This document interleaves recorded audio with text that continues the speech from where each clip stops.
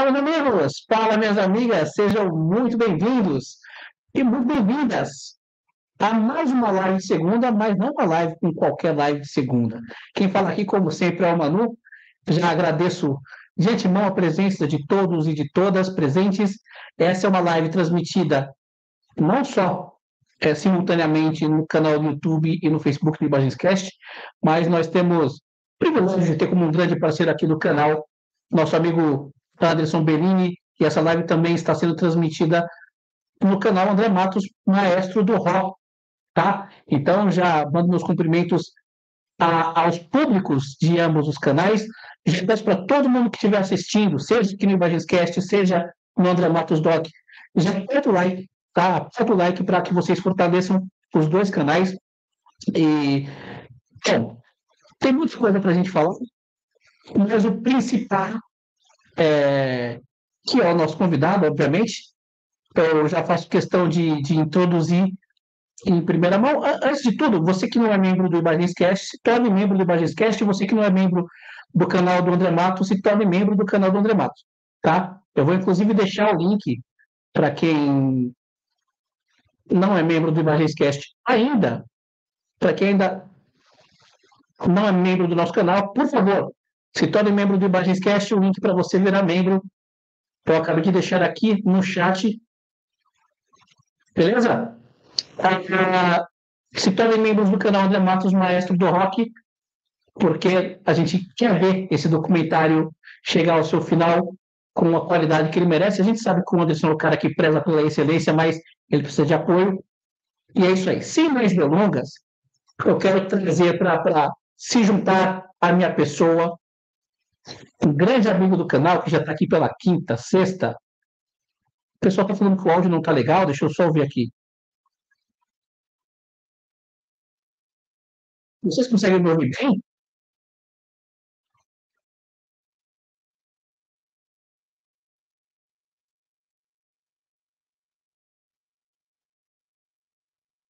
Estão me ouvindo bem? Por favor, comenta aí no, chat se o, se o meu áudio está legal para vocês.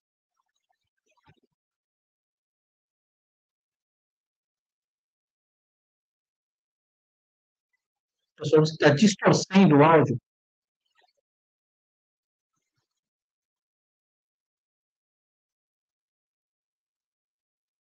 O pessoal fala, ó, o áudio está aqui, o áudio está ótimo. Está estourado está distorcendo, arrasando. Deixa eu dar uma mudada aqui no meu ganho para ver se, se dá alguma mudada.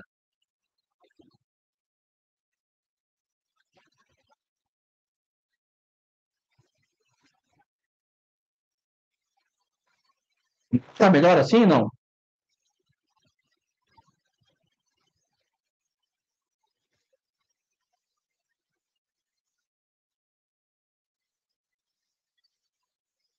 Bom, se, se não está melhor, não está melhor.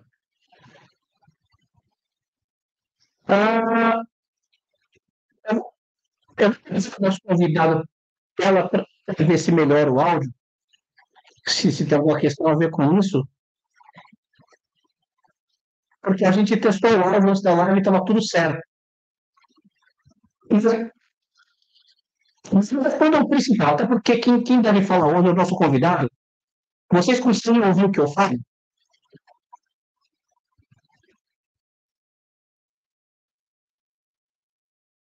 O Diego Antônio fala, mas não compromete a entrevista.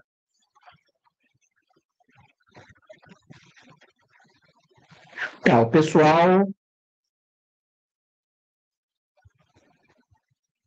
Tá, mas dá para entender tudo. Dá para ouvir Dá para ouvir de boa. Dá para entender sim. Uh, dá para ouvir o que você, mas a voz está estranha. Eu vou trazer aqui o nosso convidado. Eu não sei se vocês conseguem ouvir ele também, ou se tem algum problema no áudio. E a gente vai ajustando na medida do possível. Nosso convidado é um grande parceiro, um grande amigo, e alguém que já contribuiu aqui com o canal várias vezes, e ele que está fazendo o documentário do André Matos, e está aqui se juntando a nós pela, sei lá, décima, vigésima vez, e sempre muito bem-vindo, meu grande só um instante. Meu grande amigo Anderson Bellini. Seja muito bem-vindo, Anderson. Como é que você tá, cara? Fala, galera. Beleza? Pô, tô bem, mano. Pô, obrigado aí pelos cumprimentos. Aí, acho que é décima vez. Décima primeira, talvez? Não sei. Mas, pô, seja muito bem-vindo. Tô muito feliz de estar fazendo essa parceria aqui com com Ibaixas, dessa vez transmitindo para os dois canais, né? Uma entrevista mega, mega especial, assim, pô, tô até, ó, de brilho hoje aqui, ó. até brilho, tô até shining. então, cara, porra, é legal pra caramba tá aqui. Cara, hoje, é... especialmente, a gente fez um negócio é, especial porque era especial. Estamos aqui transmitindo do The Metal Bar aqui em São Paulo, um lugar, é, minha casa, minha segunda casa, onde eu tô sempre. Cara, estamos Estamos aqui, o pessoal abriu as portas para a gente fazer algo especial para vocês. Estamos com duas câmeras, microfone, cenário, bebidas. Sensacional, cara. Então, pô, The Metal Bar aqui em São Paulo, meu, lugar que todo cara que curte metal aqui tem que, tem que conhecer. Antes de falar com o nosso convidado aqui, antes da gente, a gente tá num bar, né?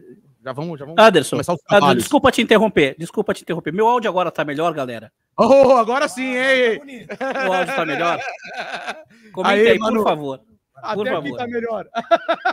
aqui tá? Até aqui tá melhor, tá?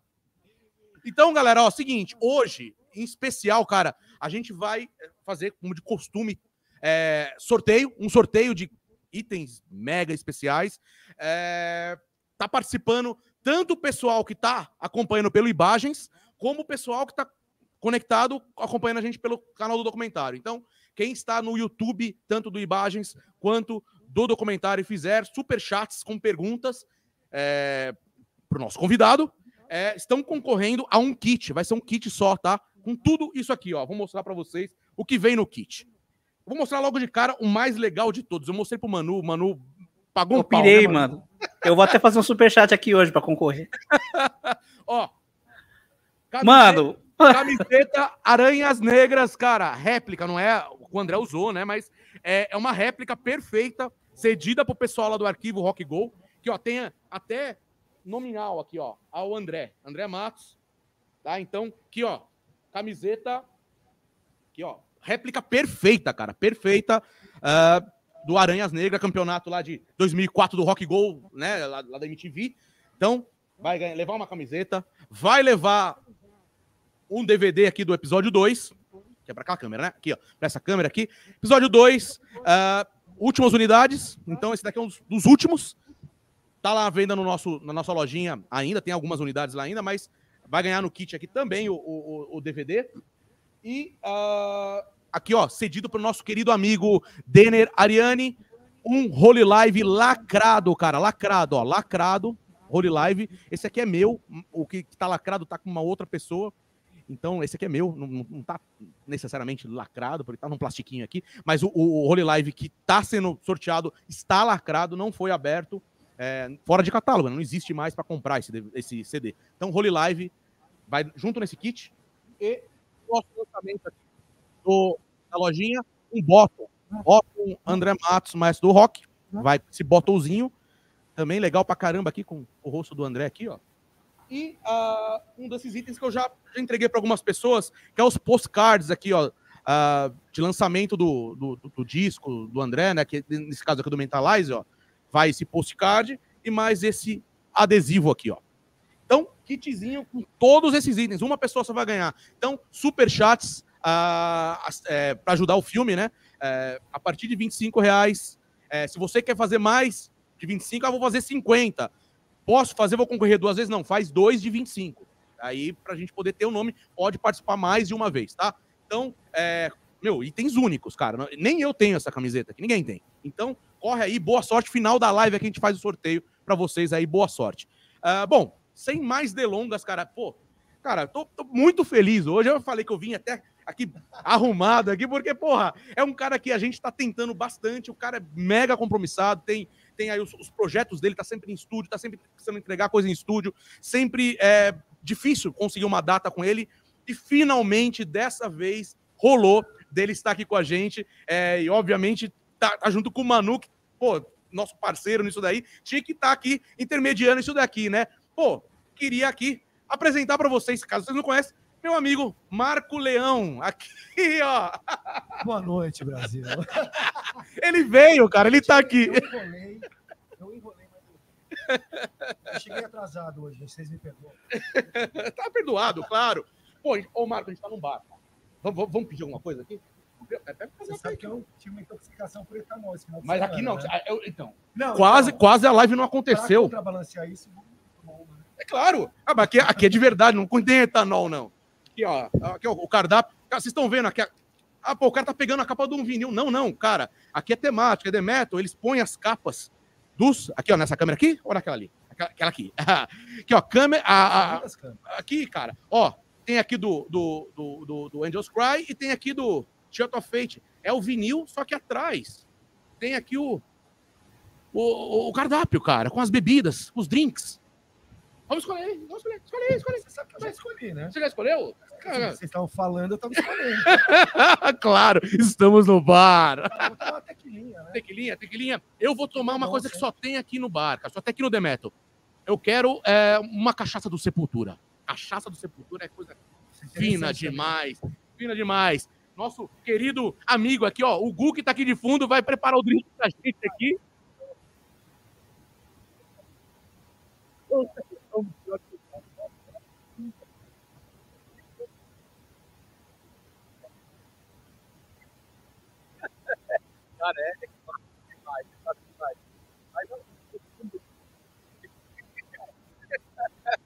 Eu não tô conseguindo ouvir vocês agora.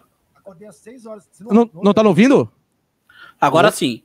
É, é, é, que eu, é que eu acho que se os dois falam juntos, talvez um acabe cancelando o outro. Ah, certo. Então não vamos falar juntos. Aê! Obrigado, vamos começar os trabalhos. Saúde, aí, ó. Saúde a todos aí, hein? Agora sim. Saúde, hein? Vamos lá. Hum, você vai num. Ah, mata. Tequila é tequila. É shot, né? né? Shot. então, cara, para começar, eu devolvo a bola lá pro nosso amigo Manu, que tá lá em Santos, lá, né? Aliás, Nós... Manu, obrigado pelo convite, cara. Faz tempo que você falou, a gente não conseguiu realizar Sim. isso. Mas agora, como eu te falei, ia, ia rolar. Tá rolando. E vai rolar de uma maneira, agora de uma maneira especial pra caramba, né? Legal pra caramba. Então vai lá, Manu. Deu o apito inicial e. O apito inicial foi dado. chuta a bola aí, cara. Vamos lá. Dê início à partida. Vamos lá. Quero, primeiramente, obviamente, agradecer a presença do Marco. É uma live muito especial para mim. Eu sempre quis fazer essa entrevista. Mais especial ainda, fazendo ela junto do Anderson, que é o grande parceiro. E só revisando aqui, eu vou inclusive deixar um banner aqui que eu fiz, que é o seguinte: ó. Faça um superchat acima de 25 reais e concorra a um kit especial André Matos todo mundo, seja aqui no, no, no canal Imagenscast, seja no canal André Matos Doc, que fizer um chat de 25 reais ou mais, vai concorrer a esse kit. Vai ser só uma pessoa que vai ganhar tudo isso, tá? É então, independente de você fazer o super chat no canal André Matos Doc ou aqui no Imagenscast, você está concorrendo. Uh, o pessoal aqui do Imagenscast, é, como vai ter muita pergunta, eu vou priorizar também os superchats. Quem mandar superchat aqui no Imagenscast, eu vou ler as perguntas e o Anderson vai ler as perguntas dos membros do canal dele ou os comentários do canal dele da forma que ele quiser moderar. Beleza? Uh, começando aqui, é, vamos começar do começo. Peguem leve, e... gente. Peguem leve. vamos, vamos começar bem leve, Marco. É seguinte. No Marco? Porque assim. Você, Marco, além, além de ser conhecido por ter sido o primeiro baterista do Angra, praticamente um membro fundador, Uh, muita gente sabe que você também foi baterista do Dominó. Sim. Então eu queria saber como é que você entrou nessa banda, como é que você conseguiu essa gig, como é que foi a experiência para você? Cara, essa gig foi, foi muito legal. Eu tinha uma banda com um produtor do Dominó. Na verdade, ele era produtor das turnês, o Joey. Joey Marcos, um cara super, super conhecido, um produtor de estrada muito bom, inclusive. E foi ele que me levou. Ele estava montando a banda, eles queriam finalmente ter uma banda, uma boy band que tocasse ao vivo, né? Que não fizesse o show só com playback. E foi o Joey que me chamou. E no final eu acabei montando a banda inteira. Chamei Kiko, Fabinho Ribeiro depois, etc, etc. Daí, primeiro tecladista Reinaldo. E foi assim. Foi você que montou a banda? Você escolheu o Kiko? No final eu acabei escolhendo sim, sim, porque o Kiko ele já tinha tocado comigo com o Rafa. Entendeu? A gente estava tendo uma banda de hard rock nessa época que chamava Kentucky. Paralelamente, eu e o Rafa tínhamos uma outra banda de hard de heavy metal que chamava Spitfire. E eu convidei o Kiko para entrar. Foi exatamente assim. Que massa, cara. Eu o Kiko também pro Kentucky, né? Através de um outro amigo que viu ele tocando na Vila Madalena, aquelas histórias de música normais. Muito bom. E para você, como é que foi a experiência de fazer parte dessa banda? É, o, o, empresário da banda era o Gugu, é isso? É, o Gugu, é, da Promo Arte. Era o Gugu. Exatamente. Cara, muito massa. E assim, você sai da, da do, do dominó pro heavy metal. E você falou que você tinha uma banda chamada Kentucky com o Rafael. Isso, e com o Kiko. Como é que você. Isso, como é que você conheceu o Rafael Bittencourt? E em quais projetos vocês tocaram juntos antes do Angra? Porque eu sei que vocês eram muito próximos quando o Rafael começou a faculdade de Santa Marcelina. Então, como é que você conheceu o Rafa e quais foram os projetos nos quais vocês se envolveram juntos? Cara, eu conheci o Rafa através do Carlos Aratini, um baixista que já tocava comigo nessa banda no Kentucky e já tocava com o Rafael num projeto que era Spitfire. Eles tiraram uma banda chamava Detroit, assim que o Rafa voltou de, né, dos Estados Unidos. E foi exatamente assim, quando a gente estava remontando o Kentucky, o Carlinhos lembrou do Rafa, a gente se apresentou, cara, aí foi assim, amizade imediata. E a gente começou a se conectar em vários projetos. Daí eu fui fazer Spitfire com eles, e as coisas foram rolando. Foi assim que aconteceu, de modo muito simples, cara. Não teve, não teve nenhuma grande história por trás disso. Mas foi uma coisa muito simples e muito natural, orgânica, né? A gente já seguiu fazendo coisas juntos, nós dois. E o Rafael, ele já tinha essa veia de compositor desde aquela época, não? Total, sempre teve. Sempre teve. Eu conheci o Rafa, ele já tinha várias composições. Reaching Horizons ele já, ele já tinha, né? Ele tinha feito nos Estados Unidos tal. Era uma música que ele fez de lá se você prestar atenção na letra, você vai até ver que tem a ver com isso, tal, né? Ele estava longe da menina. É, ele já, já sempre, ele sempre compôs. Né? né? Muito bom. O Rafael, ele já falou que ele combinou com você, inclusive ele já me falou isso para mim. Ele falou que antes de entrar na faculdade, ele havia combinado com você que ele ia fazer uma banda na faculdade e que você já era o baterista.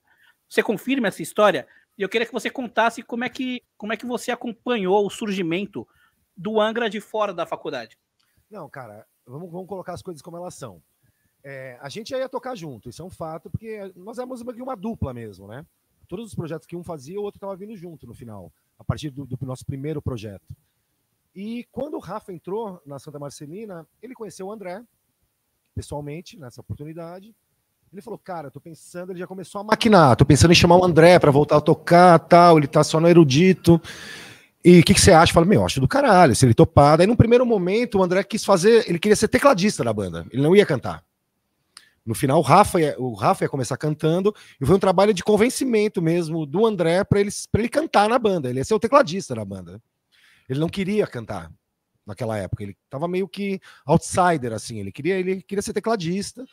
Depois toda a construção foi através do, de conversas mesmo. Eu indo lá com o Rafa, conversar com ele e tal. E é, eles três, eles dois, mais o André Bastos. Então, isso foi um trabalho para ele realmente cantar. Mas a banda já se formou aí. Em princípio, ele ia ser tecladista, mas o trabalho de convencimento durou pouco, aliás, né? Foi rápido. foi, foi bacana. Ah, então você ajudou nesse convencimento do André de, de Ei, virar todos, o vocalista do Angra? Ajudamos, todos ajudamos.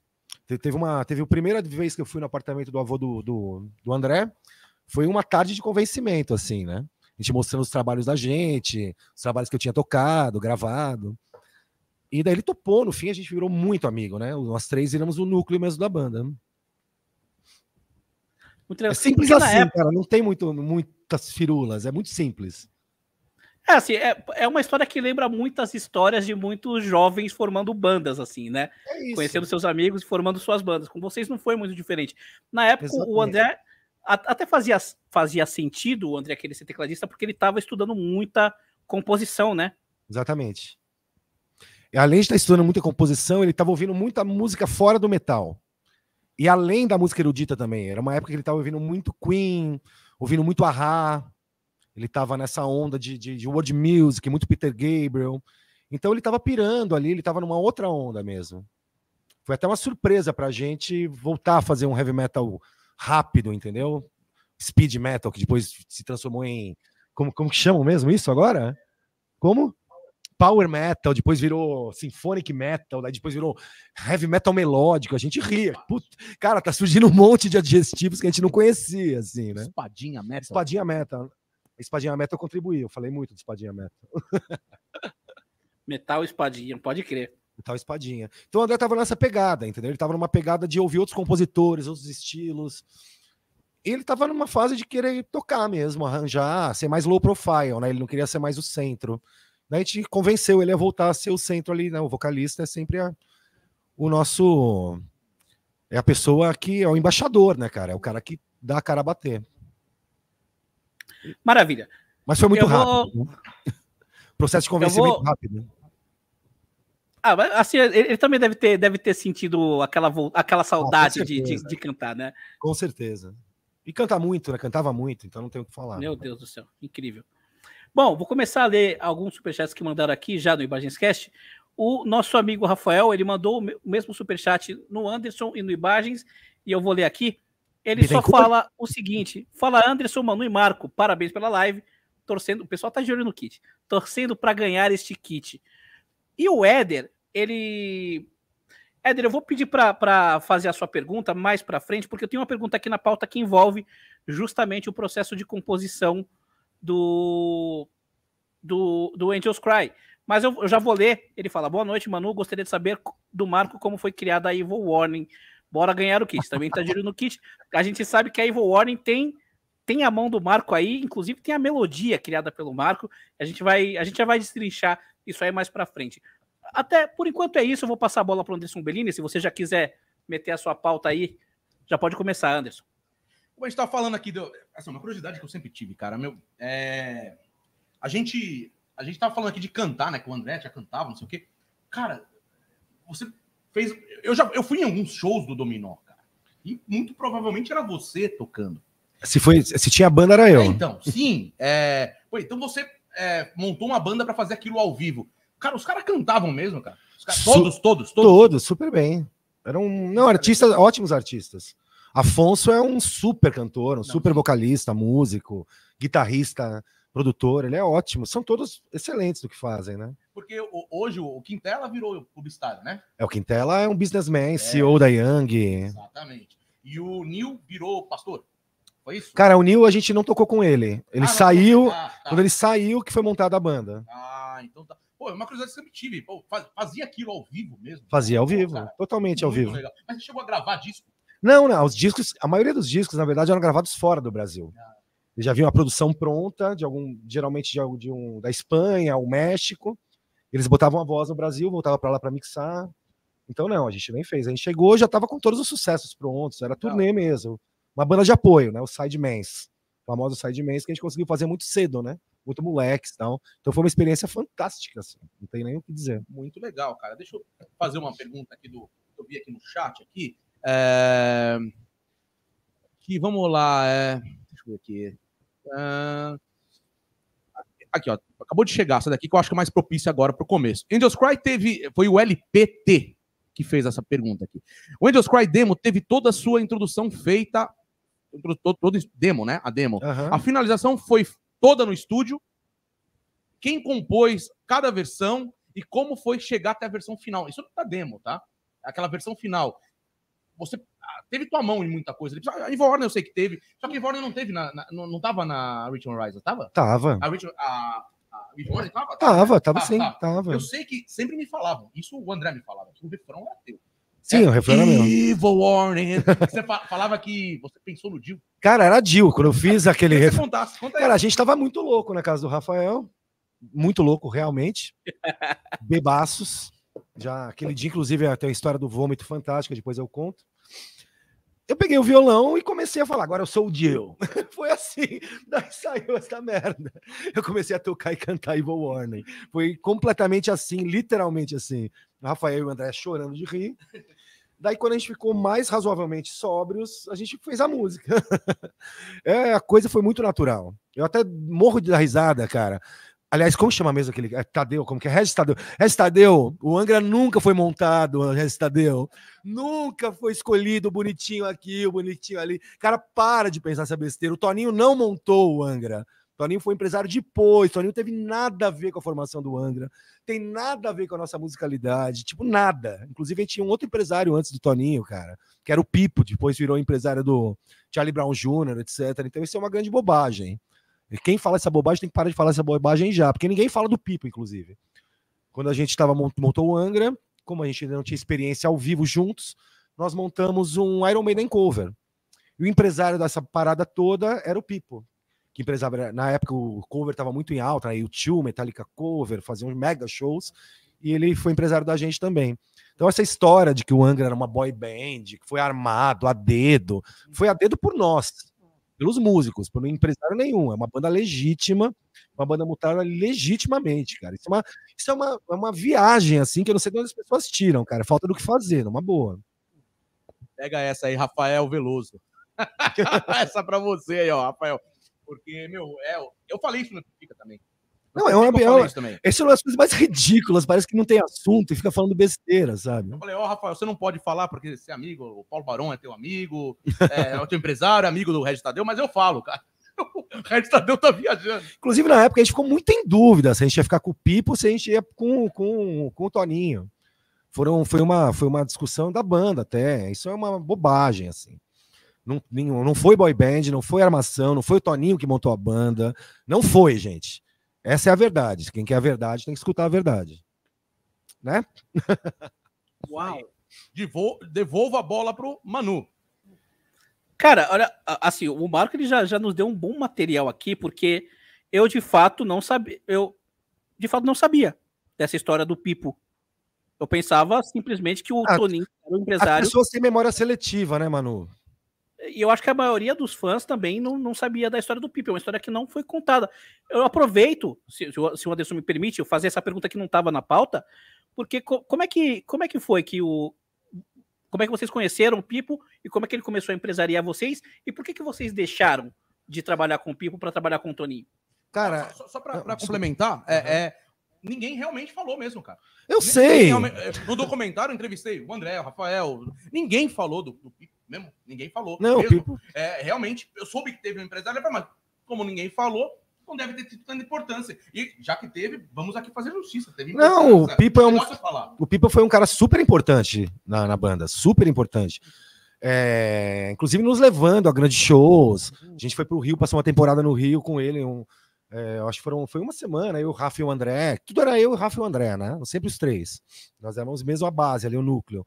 Fomos nós três também assistir o último show do, do Charlie Brown, do, do Legião, que na época ele era o tour manager do Legião. A gente assistiu o último show do Legião em Santos, aquele famoso último show do, da Legião em Santos, o Pipo que nos levou. Então, o Pipo teve uma importância fundamental para a gente, para a gente olhar o show business de fora, estrutura. E as pessoas esquecem disso, né, cara? A coisa não é tão simples, focada no Toninho e só, e só no André. Não é só isso. As pessoas meio que viajam. E, e eu não sei por que cargas d'água os membros e ex-membros não falam sobre essas coisas, que são mega importantes. Mas, enfim, né? Pragmatismo acima de tudo, né? Bom, muito bom. Uh, seguindo aqui, antes de mandar a próxima pergunta, eu tenho que botar a mensagem desse cara na tela. Olha quem, quem está aqui. Senhor André Biloide, André Bastos, ele fala: Andrezinho! Quero mandar um abração, quero mandar um abração para o Mark Lyon, querido André Bastos. Saudade do André. O André é uma figura, meu, ele é uma das pessoas mais legais que eu conheço, assim, cara. Ele é, ele é só, só, só tem um carinho por ele. É um cara muito legal. Ele tá tudo bem, sempre. Não é nem só por isso, mas ele é um cara muito que sabe administrar os egos, tal. É um cara deve podia ter ficado até na banda, viu? Pensando hoje. Ah, a gente vai, a gente vai falar sobre isso, sobre a saída, inclusive, do André Bastos, que eu gostaria de saber como é que você lidou com isso, mas não agora. Uhum. Eu quero saber, quero voltar um pouquinho uh, no começo do Angra, quero saber como é que foi o seu primeiro contato com o André Matos e quais as lembranças que você tem do convívio com ele. Cara, o primeiro contato foi nesse dia. A gente foi para o apartamento do avô dele, que eu falei anteriormente. A gente foi no apartamento pra, do avô dele fazer o último convencimento, eu e o Rafa. Né, vamos lá chavecar o André para ser o cantor, não ser só o tecladista e tal. Cara, a gente se deu imediatamente muito bem A gente foi amigos até eu sair da banda. Até um mês antes, assim, né? Que é quando começaram os problemas, que ninguém da banda sabia, só ele e o Rafael. E, mas a gente sempre tem um, uma relação de irmãos mesmo. Nós três, eu, o Rafael e o André, a gente se via praticamente todos os dias. Se não era de dia, era de dia, era noite. Se não era noite, era de dia à noite. É, foi, foi um relacionamento muito legal, cara. A gente era bem amigo, bem amigo, bem, bem, bem irmãos mesmo. Não só na música, entendeu? A gente tinha conversas de amigos normais, fora de, da arte, fora da música. Era, um, era uma boa relação, em princípio. Aliás, durante muito tempo, não foi só em princípio, não. Foi durante uma boa jornada, assim. Muito bom. Uh, a sua casa, Marco, ela era, era uma espécie de QG da banda. Exatamente. Né? Casa dos meus então, pais, né, na, na, época. Exatamente. A sua família, ela não tinha problemas com uma rotina tão puxada de ensaios? Vocês praticamente ficavam o horário comercial todo ali tocando e fazendo jams. Foi você que ofereceu? Foi, foi, foi sua ideia? de todo mundo ensaiar lá na casa dos seus pais e, e, a sua família não tinha problema? Cara, como eu já tinha aquela sala de ensaio montada, era, né, baterista, tem que ter tal. E foi natural, cara. Foi natural. E daí a minha família abraçou mesmo, né? Acabou virando ali o QG da banda e eles abraçaram. E como eu já vinha de. A minha rotina sempre foi muito pesada, né? Eu sempre fui moleque que fazia mil coisas ao mesmo tempo, etc. Então, para ir super responsável, né? Mesmo muito novinho, então a coisa foi natural, cara. Foi muito natural. Tirando assim, quando eu, minha mãe me dava umas broncas na frente de todo mundo, foi, era tudo muito legal. normal, cara, normal, Marco. normal, normal. É. Uh, seguinte, você disse no documentário que agora eu já quero entrar é, definitivamente na, no processo de composição. Uhum. É, você disse no, no, documentário, inclusive tem um corte que o Anderson postou no Instagram, que eu acho muito legal que você fala, que você tem, tem a sua mão, tem o André, no Angels Cry todo, uh, e você fala que não leva, não leva o crédito por algumas músicas. Você pode detalhar? Claro que a gente sabe que Evil Warning, basicamente, o, a parte principal da música, que é o refrão, é seu. Mas você pode detalhar em quais músicas você contribuiu na composição e não foi acreditado. Muita gente contribuiu no, no Angels Cry e não foi acreditado. Né? O negócio foi muito focado no André. E isso era algo sobre o que vocês discutiam sobre na época? Pô, eu fiz essa parte, tem que acreditar minha. minha... Cara, a gente nunca discutiu isso porque. Uh, na, ainda mais naquele momento, as bandas que como funciona uma banda, né, cara? Por mais que o compositor venha lá com a canção pronta e teoricamente a canção é do, daquele cara que a, a composição é daquele cara que fez a canção, ou seja, melodia e, e letra, né, no caso de uma canção, uma banda, cara, você vê quantas bandas você não vê assinando, todos os membros assinando. Por quê? Porque normalmente numa banda você compõe junto, você arranja junto, e aquilo que veio do violão e voz se transforma numa música de banda. Então, pra gente era natural que todo mundo assinasse. Né?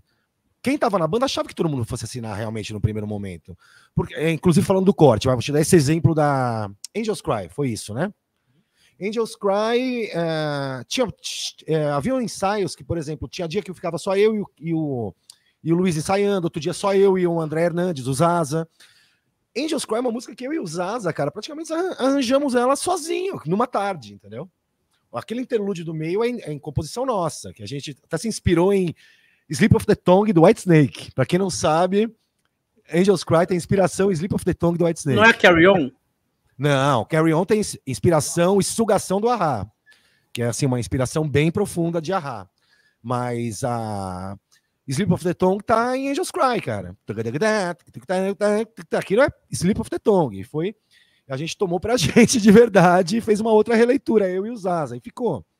Então, quando eu digo que a gente tinha que ser acreditado em todas as músicas, é porque, cara, se você pega um disco do Yes, você acha que os seis fizeram aquelas músicas todas? Não, cara.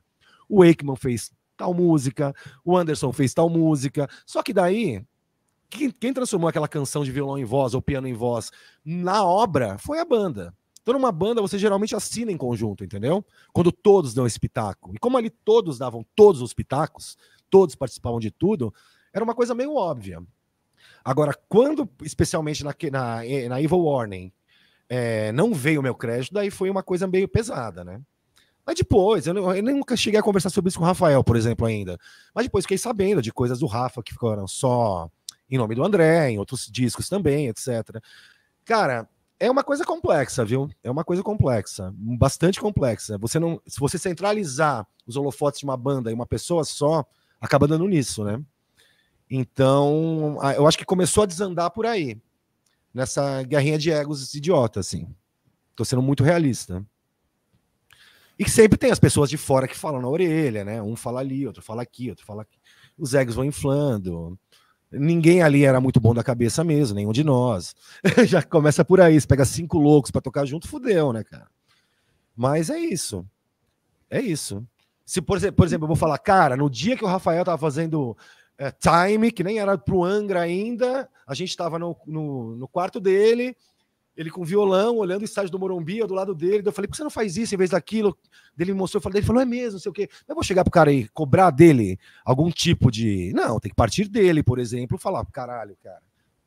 Olha, essa parte aqui que me deu toque foi o Marco, entendeu? Quem... Não, né, cara? Não cabe a mim. Fica uma coisa meio. Eu, não tenho saúde nem cabeça para ficar brigando por essas coisas. Mas o caso da Ivo Warner eu quis brigar realmente. Porque ali já foi descaramento demais, né, cara? Aí ficou uma coisa meio feia até. Muito bom. uh, antes de passar a bola pro, pro Anderson de novo, o Rafael Correia, nosso querido membro aqui do Imagens Cast, inclusive virem membros do Imagens e do canal André Matos Doc. O Rafael ele mandou uma mensagem de membro aqui, fala: Marco, naquela entrevista para o canal do Luiz, que reuniu o André Bastos, você e o Rafa, na semana que o André faleceu, você chegou a procurá-lo naquela semana? Procurar quem? O André Matos? Isso. Não, eu aproveito não, até para eu aproveito até para incrementar essa pergunta. Você chegou a ter algum contato com o André Matos pós-Angra? Cara, um contato. Dois, super por acaso. Um no supermercado, ele estava com a Penélope, e depois, anos depois, no manifesto, numa festa do Fabinho Ribeiro. E, mas foi algo muito rápido, assim. Ficou uma coisa muito mal aparada entre eu e o André, entendeu? Eu sentia que ele não queria ter uma conversa comigo, ele não conseguia conversar comigo olho no olho. Ele nunca conseguiu fazer isso. Nessas duas ocasiões? É. Em todas as ocasiões. pós, pós Alemanha, isso aconteceu. Fazia parte da característica dele, né, cara? O cara fechado e tudo mais. Às vezes ele não queria falar comigo coisas que ele que ele acreditava. Então, eu nunca forcei uma barra. Só observei. Maravilha. E a nossa querida amiga Camila Mitier também mandou um super chat. Muito obrigado, Camila. E ela fala: Super boa noite para vocês. Marco, obrigada pela sua contribuição para o começo do Angra. Você tem o nosso respeito. Manu arrasando nas perguntas, como sempre. Anderson, um abraço para você e que venha o episódio 3. Eu já aproveito para passar a bola para o Anderson. E, Anderson, se, se antes de, de continuar desenrolando a sua pauta com o Marco, você quiser falar sobre o documentário, porque a gente quer saber essa parte 3 aí, amigo. O que você pode falar sobre isso? Eu posso falar? que eu posso falar que eu tive uma conversa com o Eco, posso até abrir em primeira mão aqui para todo mundo aqui.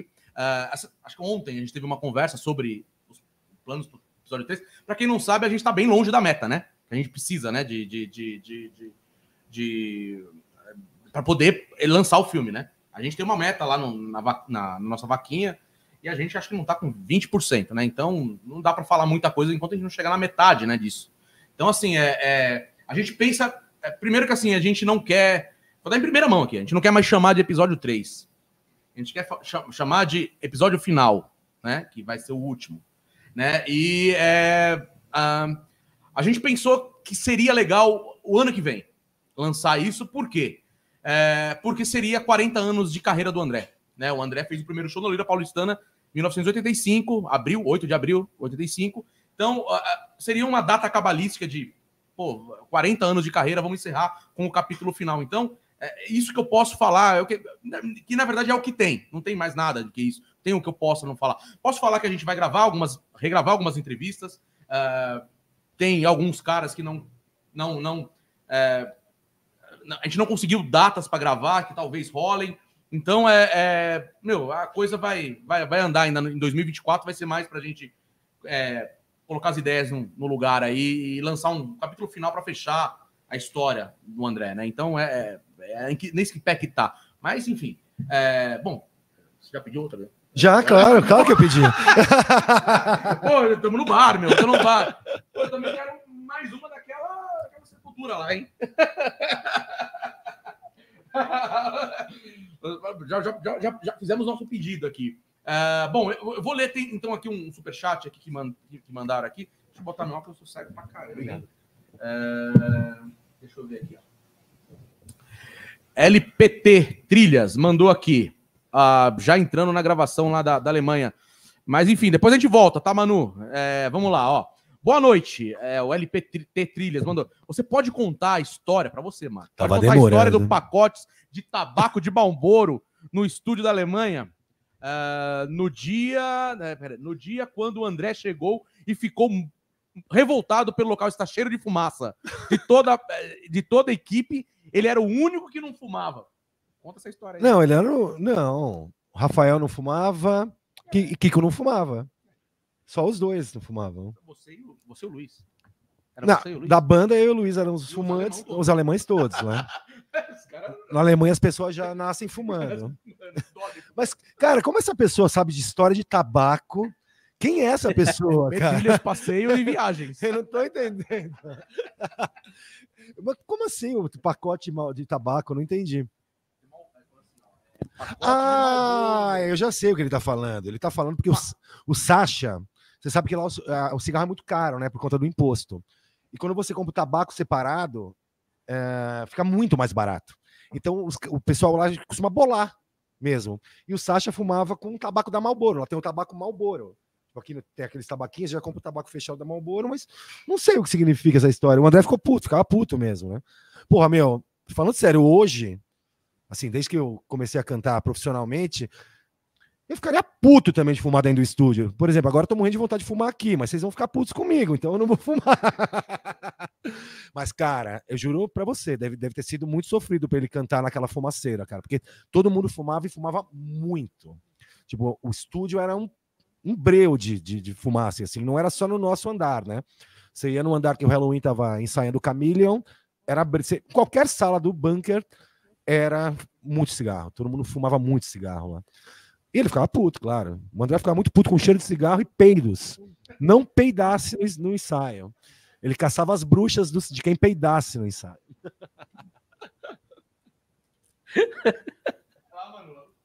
Até que culminou no episódio das asas dos Asa.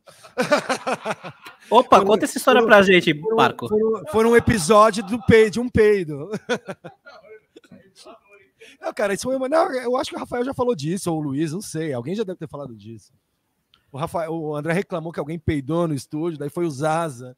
Daí ele ficou puto, abriu o estúdio, né, saiu a porra, Daí o André, né, virou a Zaza. daí o André, o, o, o Marcos ficou puto. Ah, coisa de banda, de moleque, né, cara? Normal. Nada que outras bandas não passem todos os dias. Chegou, chegou, Vocês verem como não era armação nem uma boy band. Pois é.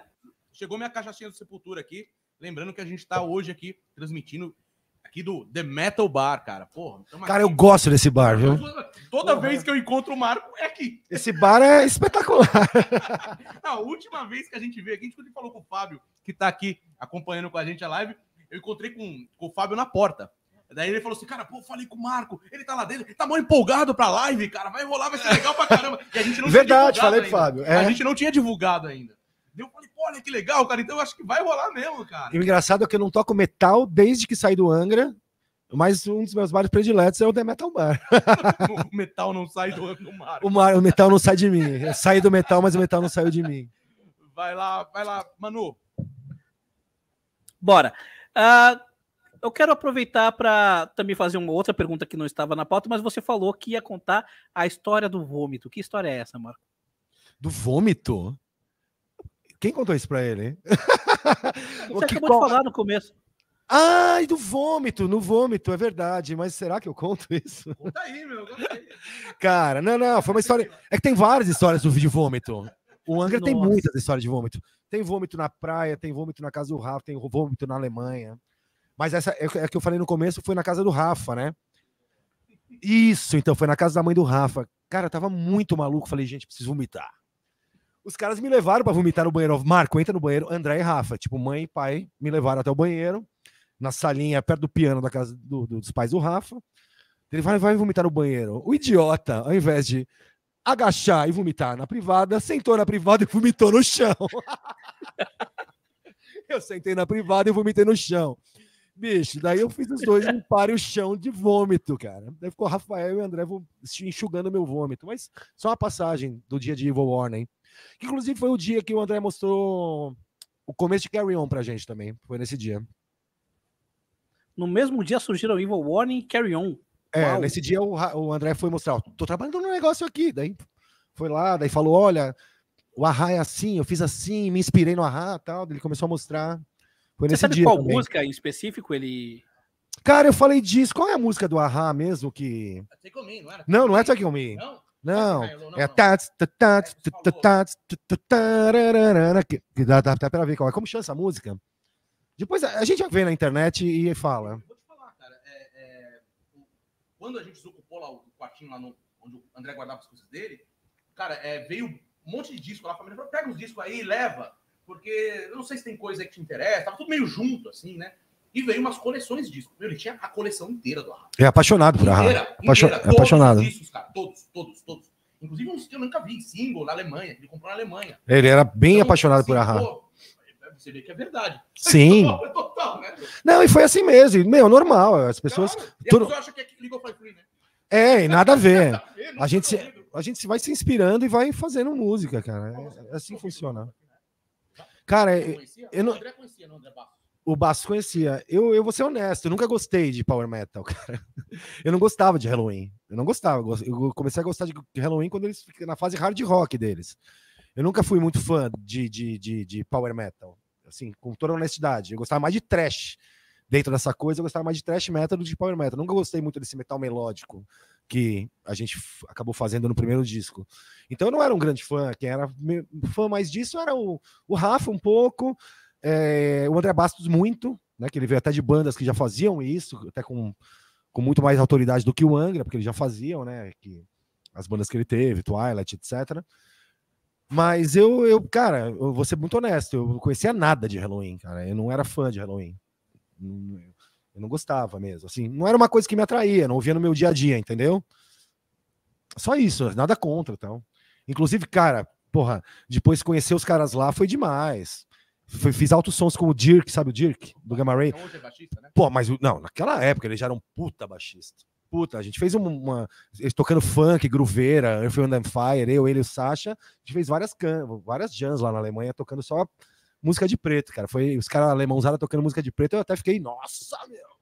Puta, o Sasha, o, o, o Dirk no slap ali, tocando baixo grooveria, impressionante, cara. E, é verdade que o, que o Michael Kiske aparecia lá nas gravações, lá, cara? o Michael é, Kiske? É, é. O Kai, sim. Ele estava totalmente out né, do metal nessa eu época. Eu não vi. Eu não vi. E, não vi. e, diz a lenda que ele apareceu lá que ninguém reconhecia ele. Que ele tava de gorro e ele ia lá porque ele era muito amigo do Kai. Cara, ele, ele, ele me falou que ele via muito. Inclusive, a bateria que foi gravada, o disco, foi a bateria do Ingo, não era? Não, a bateria, inclusive, essa bateria do disco tá comigo hoje, né? Oh, eu, sério? Eu, eu, comprei essa bateria, importei essa bateria. Foi gravada lá na Alemanha? Oi? A, a ah, a Premiere que foi gravada. Tá comigo, é. A, bateria que gravou o Windows Cry? Tá, tá, tá comigo, olha tá só, comigo. Sensacional. Essa bateria, é essa bateria... Falaram... Toquei com ela no, bastante em vários lugares. Aí, é. É, falavam que era, que era a bateria que foi do Wingo, do, do, do, do Eu não sei, era uma bateria que eles alugaram e depois eu acabei comprando. Então, parece que assim, tava lá que era a bateria do Wingo. Não sei. Do, do, do, que era o baterista do Halloween. Eu não sei, eu não, eu não lembro de onde surgiu e tal. O cara tem uma preciosidade em casa porque é gra... que gravou o Windows Cry e pô, é, era do Wingo do Halloween. Não, e eu não, eu, eu não sei. Ele não conhece o Halloween, tá, tá lá. Talvez o Kai tenha ido. O Kai não. O... Foi o Kai que você falou? Não, o, o, o Michael. Tem aí, o Kai eu, eu vi. Mas o, talvez o Michael Kiss tenha ido quando eu já tinha saído, não tava, não tava mais indo pro pode estúdio e tal. Ser, não sei, não sei. Não sei Vai lá, Manu. Muito bom. Uh, eu queria que você destacasse um pouquinho mais o processo de composição do, do Angels Cry. O que mais você lembra? Você lembra da, de, de, músicas como, tipo, Lasting Child, que eu sei que o André Matos ele se inspirou no Felix Mendelssohn, que era um compositor. É, músicas como Streets of Tomorrow, a ideia de fazer o cover da Kate Bush. O que você lembra de, de cada uma das Never Understand, que o segundo Luiz fala, surgiu de, um, de uma levada dele no baixo. O que você Foi. lembra de todo o processo de composição é, de cada uma dessas músicas e como é que era o clima na banda nessa época? Cara, eu honestamente não vou conseguir te precisar o, de todas as músicas, entendeu? Algumas mar, me marcaram, outras não. Mas todas vinham, vinham, algumas vinham prontas de, não em termos de arranjo, né? Mas a, a canção mesmo, e outras a gente terminava de desenvolver no, no estúdio. Não, não tem uma, uma grande questão que eu tenha que lembrar, assim, cara. Porque a gente, a gente trabalhava muito no coletivo. Até rolar essa treta toda na Alemanha, uh, até um pouco antes, né? Que eu saí do Angra duas vezes. Eu saí anteriormente, que até foi muito, foi muito maluco isso, porque eu vi depois, foi uma coisa que eu não tive oportunidade de falar com o André em vida ainda, né? Porque logo depois que a gente gravou tudo aquilo, o André faleceu, acho que foi um mês depois, dois meses depois. Não, foi na semana. Foi na semana. Na quarta, ele faleceu no sábado. Então, eu não tive oportunidade nem de rebater o que eu ouvi depois, né? Porque eu até fiquei, falei, não vou falar nada, né? Vou ficar calado, porque, porra, hein? O cara tinha acabado de falecer, é falta de respeito. Mas é, até aquele, a minha primeira saída, o clima era fantástico. Era um clima que uma banda tem que ter. É um clima que eu acho ilusório quem acha que o pragmatismo move uma banda. O pragmatismo move uma banda a partir do momento em que ela já encantou o público. Antes dela encantar o público, se você é pragmático, cara, você trava a sua carreira por exemplo, eu acho que o sonho do Rafa de ser o Iron Maiden, quando ele até brinca que ele falava que ele era megalomaníaco, acho que a pessoa que faz música autoral não tem esse sonho megalomaníaco, ele tem que nem fazer. Nem fazer música autoral. Porque daí ela já está se submetendo ao mínimo e não ao máximo que pode chegar, entendeu? Então, até a minha primeira saída, que até rolou um teste com o Fábio Elzas, que é o Fabinho, que é um baterista super ótimo, e com o próprio Confessório. Eles fizeram um teste com esses dois bateras, depois eu voltei. Até então, o nosso clima era de irmandade, cara. O clima de uma banda que tava ali para brilhar mesmo. Até a primeira saída. Até a minha primeira saída. Essa primeira saída foi quando? É isso que eu ia perguntar. É, então, isso que eu ia falar de rebater o André, porque o André falou que com aquele jeitão dele que eu tive uma segunda chance. Eu não tive uma segunda chance, na verdade, eles me pediram para voltar. Que eu saí por causa do estilo, aquela coisa toda. Duas semanas depois eu voltei. Eles fizeram os testes que eles tinham para fazer. Antes de ir para Alemanha. Antes da Alemanha, antes da Alemanha.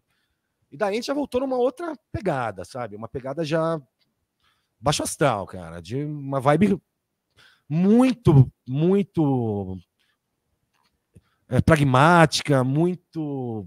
A gente era muito moleque para ser pragmático daquele jeito, cara. Não pode. O artista nunca pode ser tão pragmático, ainda mais naquela idade, cara. Ninguém pode ser pragmático com 17, 16, 18 anos, sabe? Cara? Ninguém pode ser. Se Dá para dizer. Oi? Dá para dizer que depois que você saiu da banda pela primeira vez e voltou, as coisas não eram mais movidas pela amizade? Não. A partir do dia que eu saí a primeira vez, não tinha amizade mais nenhuma. Eu só não sabia da treta entre o Rafael e o André. Isso é só foi, só foi, não, foi revelado na Alemanha. É, eu, que era um dos três do núcleo duro da banda, eu, o Rafael e o André, não sabia da briga dos dois, eles não me contaram. Eu fiquei sabendo disso na Alemanha. E você então... saiu a primeira vez só por, por não, não se identificar com a música? Cara, não, eu saí da primeira vez, cara. São coisas muito delicadas que eu não sei se vale a pena mexer hoje, honestamente. Claro. Não tô fazendo vaselinagem, não, que já perceberam que eu não sou vaselina, né? Mas eu não sei se vale a pena ficar mexendo nesses vesperos é, assim, entendeu? Puta, 30 anos depois, não sei se isso vale a pena. Mas teve, teve muito menos. A minha primeira saída teve muito menos a ver com música do que com música. E a primeira e a briga do André e do Rafael teve nada a ver com música também, por exemplo, entendeu? A briga deles não foi nada musical, a minha briga não foi musical. Toda, todo esse clima não teve nada a ver com música. Depois lá, por conta do, do produtor, tal, foi só um desfecho. Mas o que já estava desenhado que ia acontecer, isso ia acontecer. Não, não adianta, cara. Isso ia acabar acontecendo. Tudo que aconteceu com Angra ia acontecer. Eu acho que na minha primeira saída já se escreveu que o Angra e o que ia ser do Angra daquele dia até hoje. Aliás, quero dar parabéns, que hoje o Angra tá bom pra caralho. Eu acho o último disco, olha, o disco, cara, o puta disco. Do que eles propuseram, né? Eu acho o melhor disco. Achei foda. Eu, também, eu, eu acho também... que foi uma fase mágica, assim. Gosto muito desse último disco, gosto muito do trabalho novo do Angra. Gosto muito, gosto muito. Eu também curti muito o Cycles of Pain. E tá, é, um, um, episódio que marca bastante o começo do Angra é justamente a saída do André Bastos. como é que foi para você lidar com a saída do André Bastos e, e quanto que você acha que a saída dele contribuiu para tudo que veio acontecer depois no Angra? Cara, não vou mentir, eu fui do, um, um dos que foi a favor dele sair. Hoje eu vejo isso como um erro. Eu vejo isso como um erro já faz tempo. Eu vejo como um erro a saída dele, depois eu vejo como um erro a saída do Zaza, que eu não queria, Rafael não queria. É... Mas eu vejo como um erro. O André fala, fala muito isso. Nem sempre o melhor cara é, musicalmente falando, é o melhor cara que você vai conseguir trabalhar. O André falava isso? Fala, fala, fala ah, ainda. ainda... Que, que, hoje ele fala, meu, preferimos um cara mais técnico, não sei o quê, mas talvez não seja tão fácil trabalhar como era com o André. É, é uma pena ele não ter pensado nisso na Alemanha, mas. Mas você trabalhou com ambos. Cara, eu sou um cara muito privilegiado, né? Eu só trabalhei com músico muito acima da média a minha vida inteira, desde os 11 anos de idade. Então eu sou muito privilegiado, muito privilegiado. Eu só trabalhei com guitarristas Pô, Eduardo Danui, Atilar Danui, Léo Mancini, Roger Bennett, Lafayette Persaldi, eh, Rafael Bittencourt, Kiko, Lorena. BJ não é guitarrista, é vocalista. Não, tô falando de guitarristas agora. Não, vocalista também. Puta, BJ é um gênio. Mas eu só trabalhei com músico bom. Então é muito fácil para mim falar, porra, nem sempre o músico bom. Mas é a verdade é essa, cara. Nem sempre o craque tem que estar tá no time, cara. Nem sempre um time só de craques vale a pena, entendeu?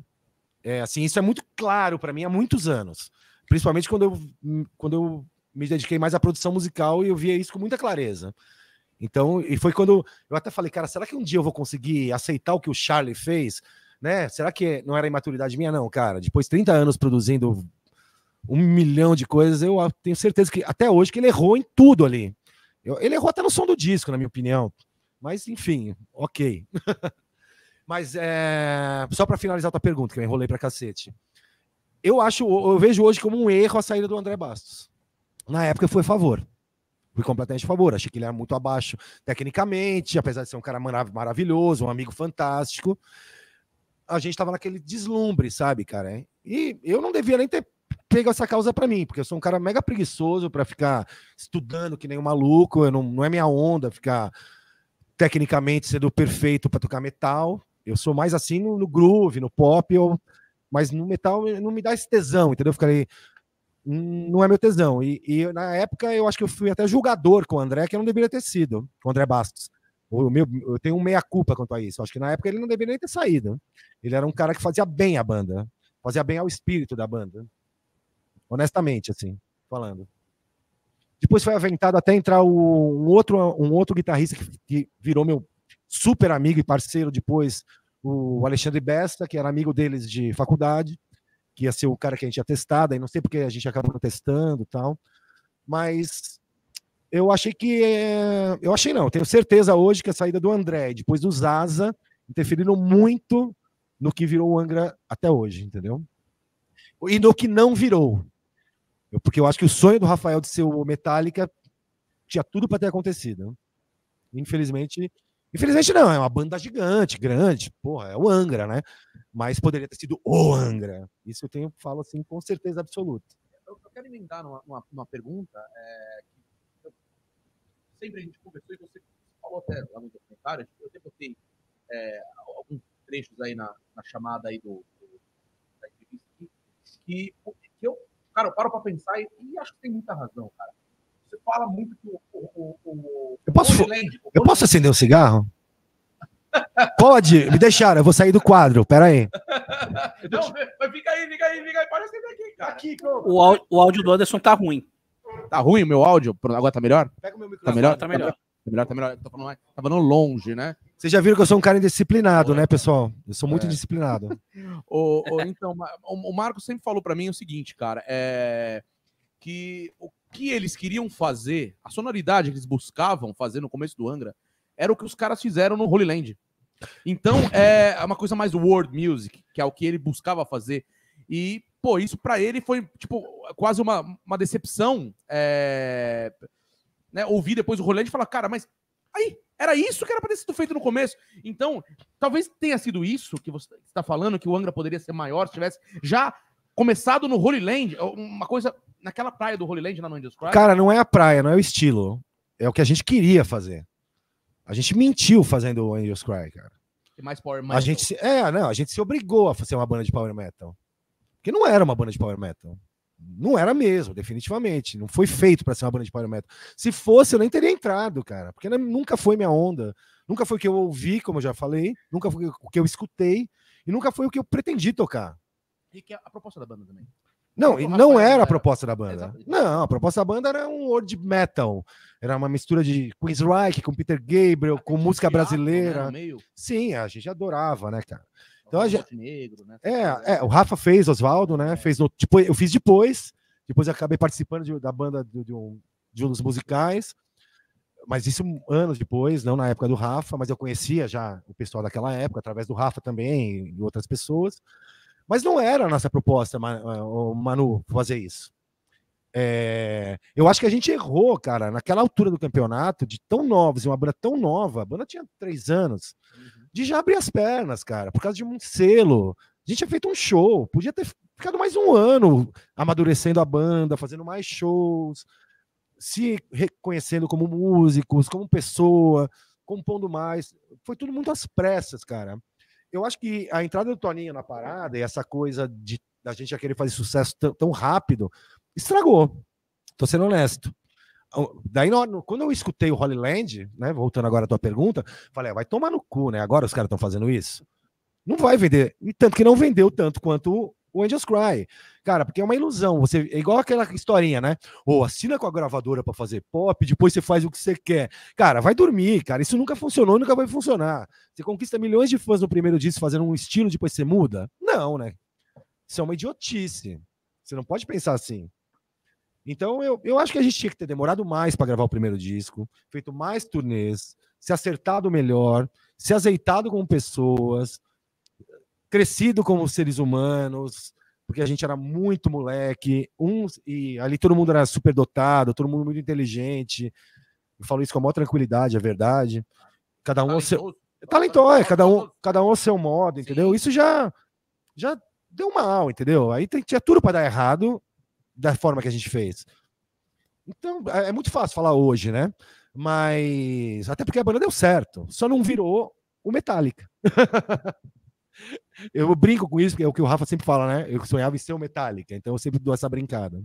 O, o, o, Rafa, o André Basso contou uma vez que quando o Rafa montou a banda, ele falava pro, pro, pro André Basso, assim, não tinha música nem nada, falava assim, cara, a gente vai ter que montar uma banda, porque a gente vai no Jô. Meu, ir no Jô era o top. O top, Brasil. claro. Vamos no Jô, sentar na poltrona do Jô e, e dar entrevista pro Jô. Então, isso faz todo sentido que você tá falando. Cara, já, já pensava grande, né? Cara, quando você tem uma banda autoral, um trabalho autoral, quando você é um músico autoral, não é um cara de gig.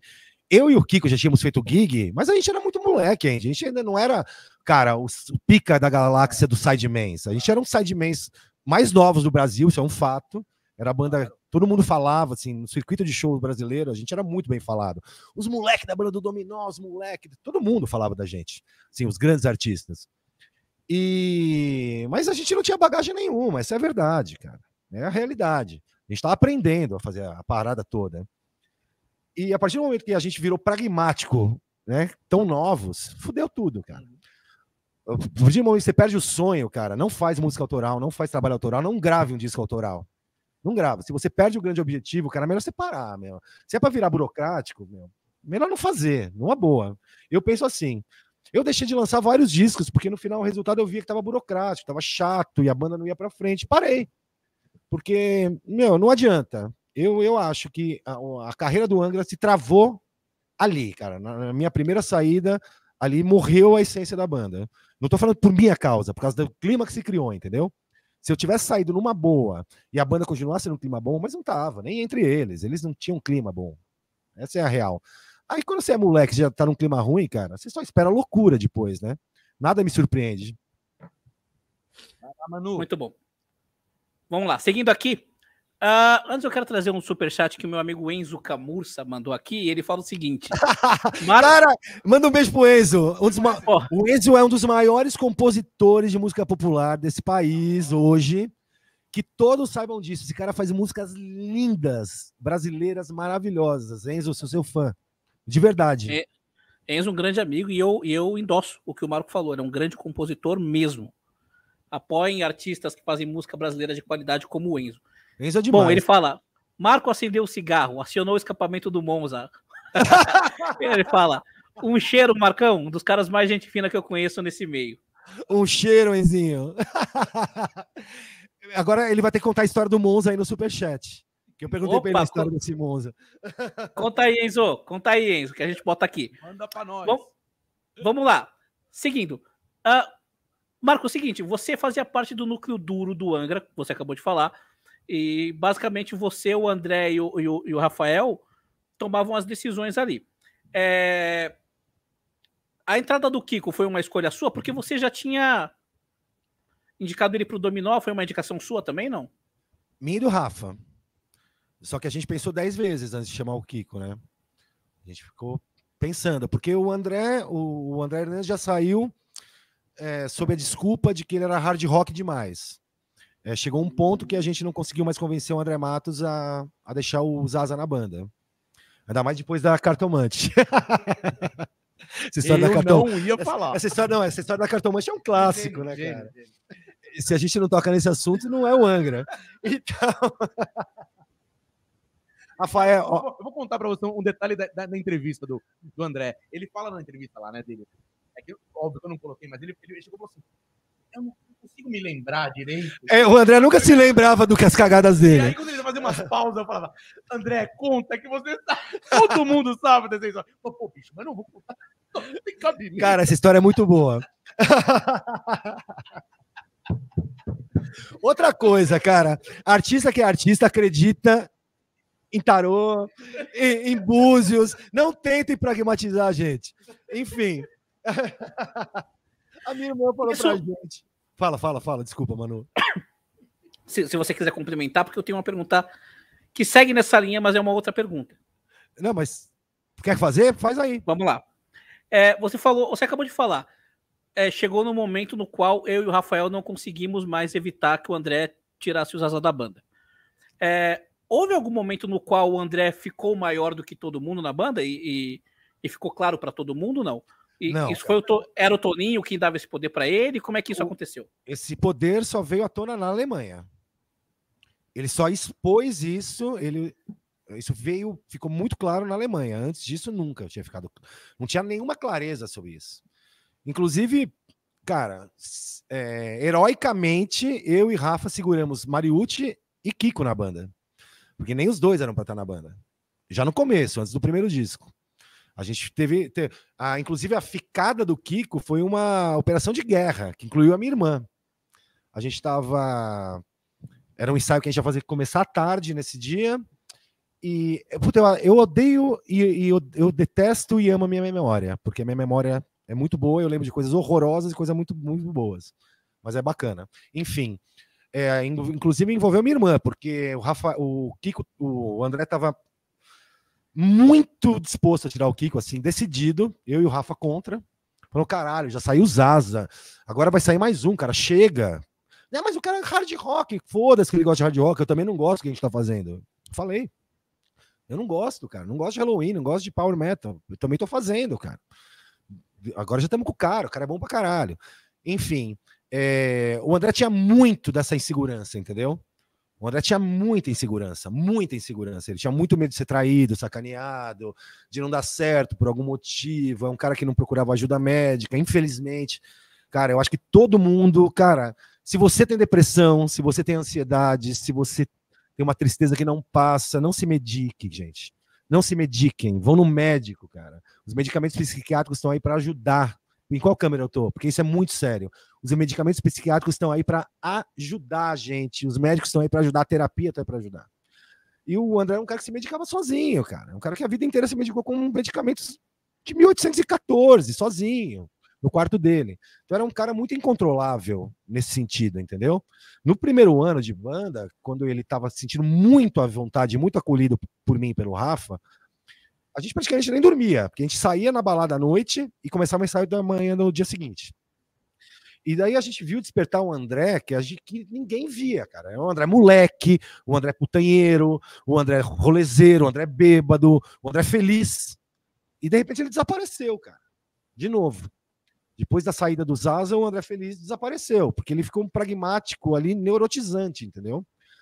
É, eu, cara, gente, os ídolos de vocês têm problemas. Ele também tinha. Eu tenho, todo mundo aqui tem. Então, não é um tabu se falar isso, não é, não é ruim. É, agora, cara, por exemplo, eu vou dar um exemplo. Você, vocês assistiram o documentário do o documentário não, o filme do Queen, né? Então, é Sim. tudo bem, super controverso, blá.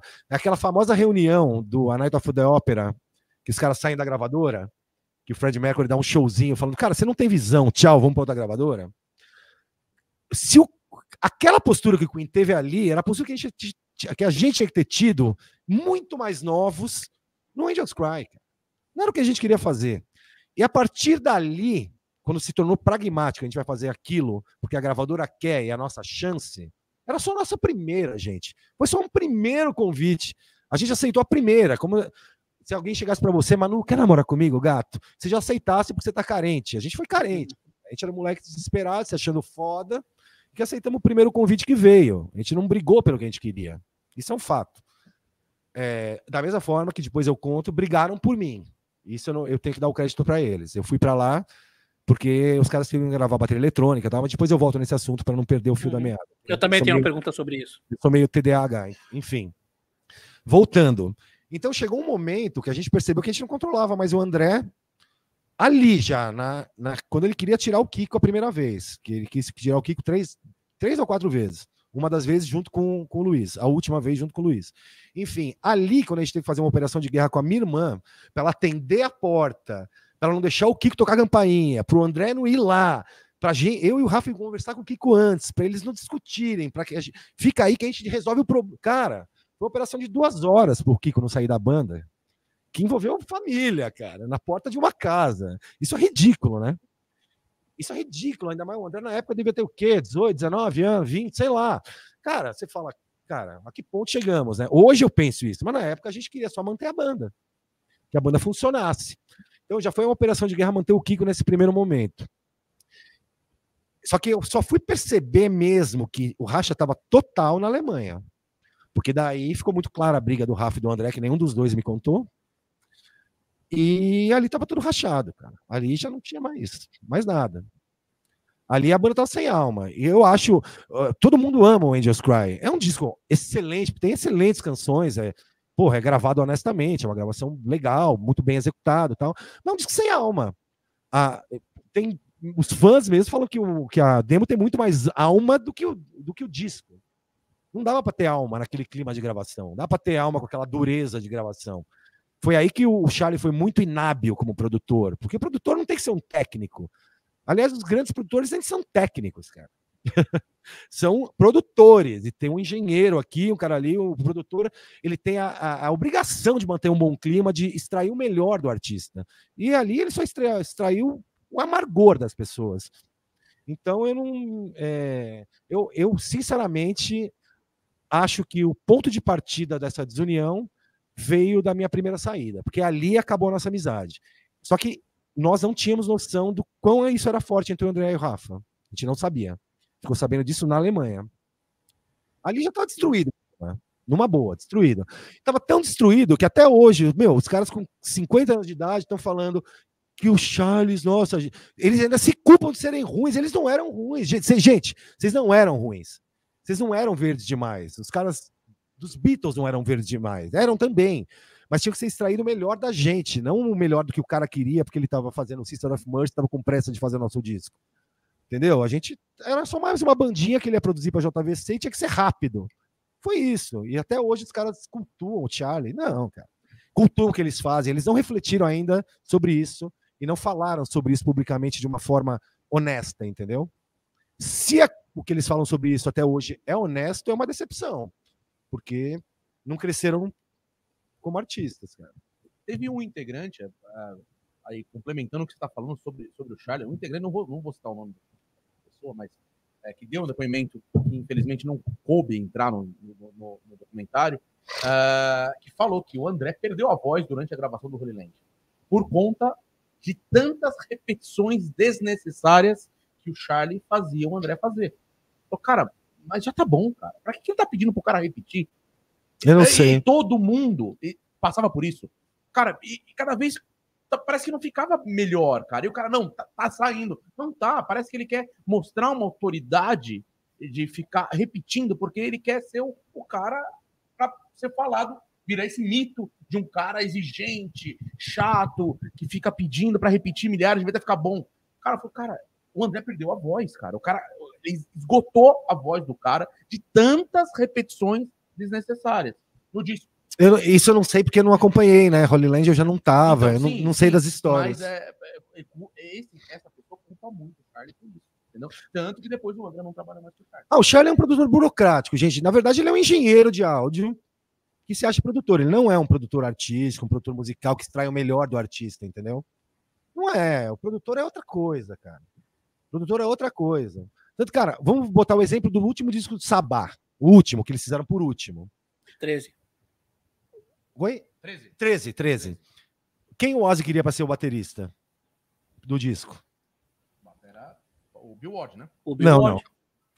não. Não, o Ozzy queria o batera que foi para turnê depois, que eu esqueci ah, o nome. O, com o Sean Fellas, assim, né? O cara que foi do Faith No More, não foi? Não, não, não. Não, não. não, não, É o cara que fez a turnê do Black Sabbath depois. Ele fez a turnê, eu sempre esqueço o nome dele. É o pessoal do, do chat aí, bota aí, que eu esqueci o nome do cara. E quem gravou o disco? Foi o Bill Ward, não foi? Não, quem gravou o disco foi o Batera do Audioslave do, do. Ah, é verdade. É o cara do Audioslave, é verdade. O Brad Wilk. Que teoricamente toca 10 vezes menos do que o Batera que fez a turnê. Exatamente que é o cara do Rage Against the Machine. Só né? que o, o, produtor queria uma atmosfera de baterista e de banda mais leve, mais fluida no disco, entendeu? Ele preferiu um cara menos técnico do que aquele mais técnico do que o mais fluido. Mais fluido. E daí você vê como o produtor produziu esse disco do, do, do, do Black Sabbath, o cara em cima de uma beliche. Já viram esse documentário? O multi, é o Multiland, não, é o o barbudo de, de barba branca. É o. Putz, é o. Marido da Shania Twain, sempre esqueço o nome dele. Cara. Rick Rubin? É o Rubin, o Rick Rubin. É muito legal que eles estão num celeiro gravando disco e o Rick Rubin ele produz. O bateria, estima... o bateria é aquele bateria... do Alice Cooper, não era? O Tommy, Tommy não sei o quê. Sean Fellas. Sean Fellas, é, coisa assim. O quem gravou foi o batera do, do, do Rage Against the Machine e Audioslave. Tommy Clufetos. Isso. falar aqui, ó, no chat. Isso, ele mesmo. Tommy ele mesmo ele era o predileto do, do, Porque ele é mais virtuoso, era o cara que estava tocando com o Ozzy em turnê. Mas o, o, o, produtor preferia um batera mais tranquilo, que deixasse um clima mais gostoso na gravação, que deixasse a, a música fluir mais para os outros instrumentos e tal. Isso é um produtor. Um produtor que faz a coisa fluir, não um produtor que faz essa coisa travar. Cara, quando que um produtor quer que uma banda fique no mau clima? Aí você já, já sabe que o cara é uma merda de um produtor. Não, de verdade, gente, passaram muitos anos, eu não tenho nenhuma mágoa disso. Ele só é um mau produtor. Ele é um excelente engenheiro, mas um produtor meia boca. Você tem uma noção, a gente já tinha gravado, gravado e editado sete baterias do disco. Sete músicas. Sete músicas. É, mas sete baterias, né? Uhum. Já estavam prontas. Passadas do rolo pro Akai. Ah, aliás, pô, Kiko, você precisa lembrar das coisas, mano. O Kiko é tão pragmático que ele não lembra das coisas. Ele falou que não tinha computador. Claro que tinha. Tinha computador da Akai, onde tudo era quantizado, bonitinho lá, a gente passava tudo do rolo para o computador, tudo ali era feito bonitinho. Essas sete músicas estavam perfeitas. Eu e o Rafa fomos jantar felizes e quando voltamos, o cara chegou no estúdio e foi assim que tudo aconteceu. Mas, mas quem decidiu isso? Quem não gostou? Cara, no... dizem que foi o Charlie, né? Charlie, é. Não sei, né? Deve ter sido. Vamos entrar nesse assunto? É, mas antes eu quero fazer uma pergunta é, de como era a relação da banda e principalmente a sua, Marco, com o Antônio Pirani. Puta, super tranquila, cara. Minha relação com o Toninho era tranquilíssima. Tranquilíssima, amistosa. Nunca tivemos uma briga, sempre. Acho que a única vez que a gente brigou foi quando a história do braço.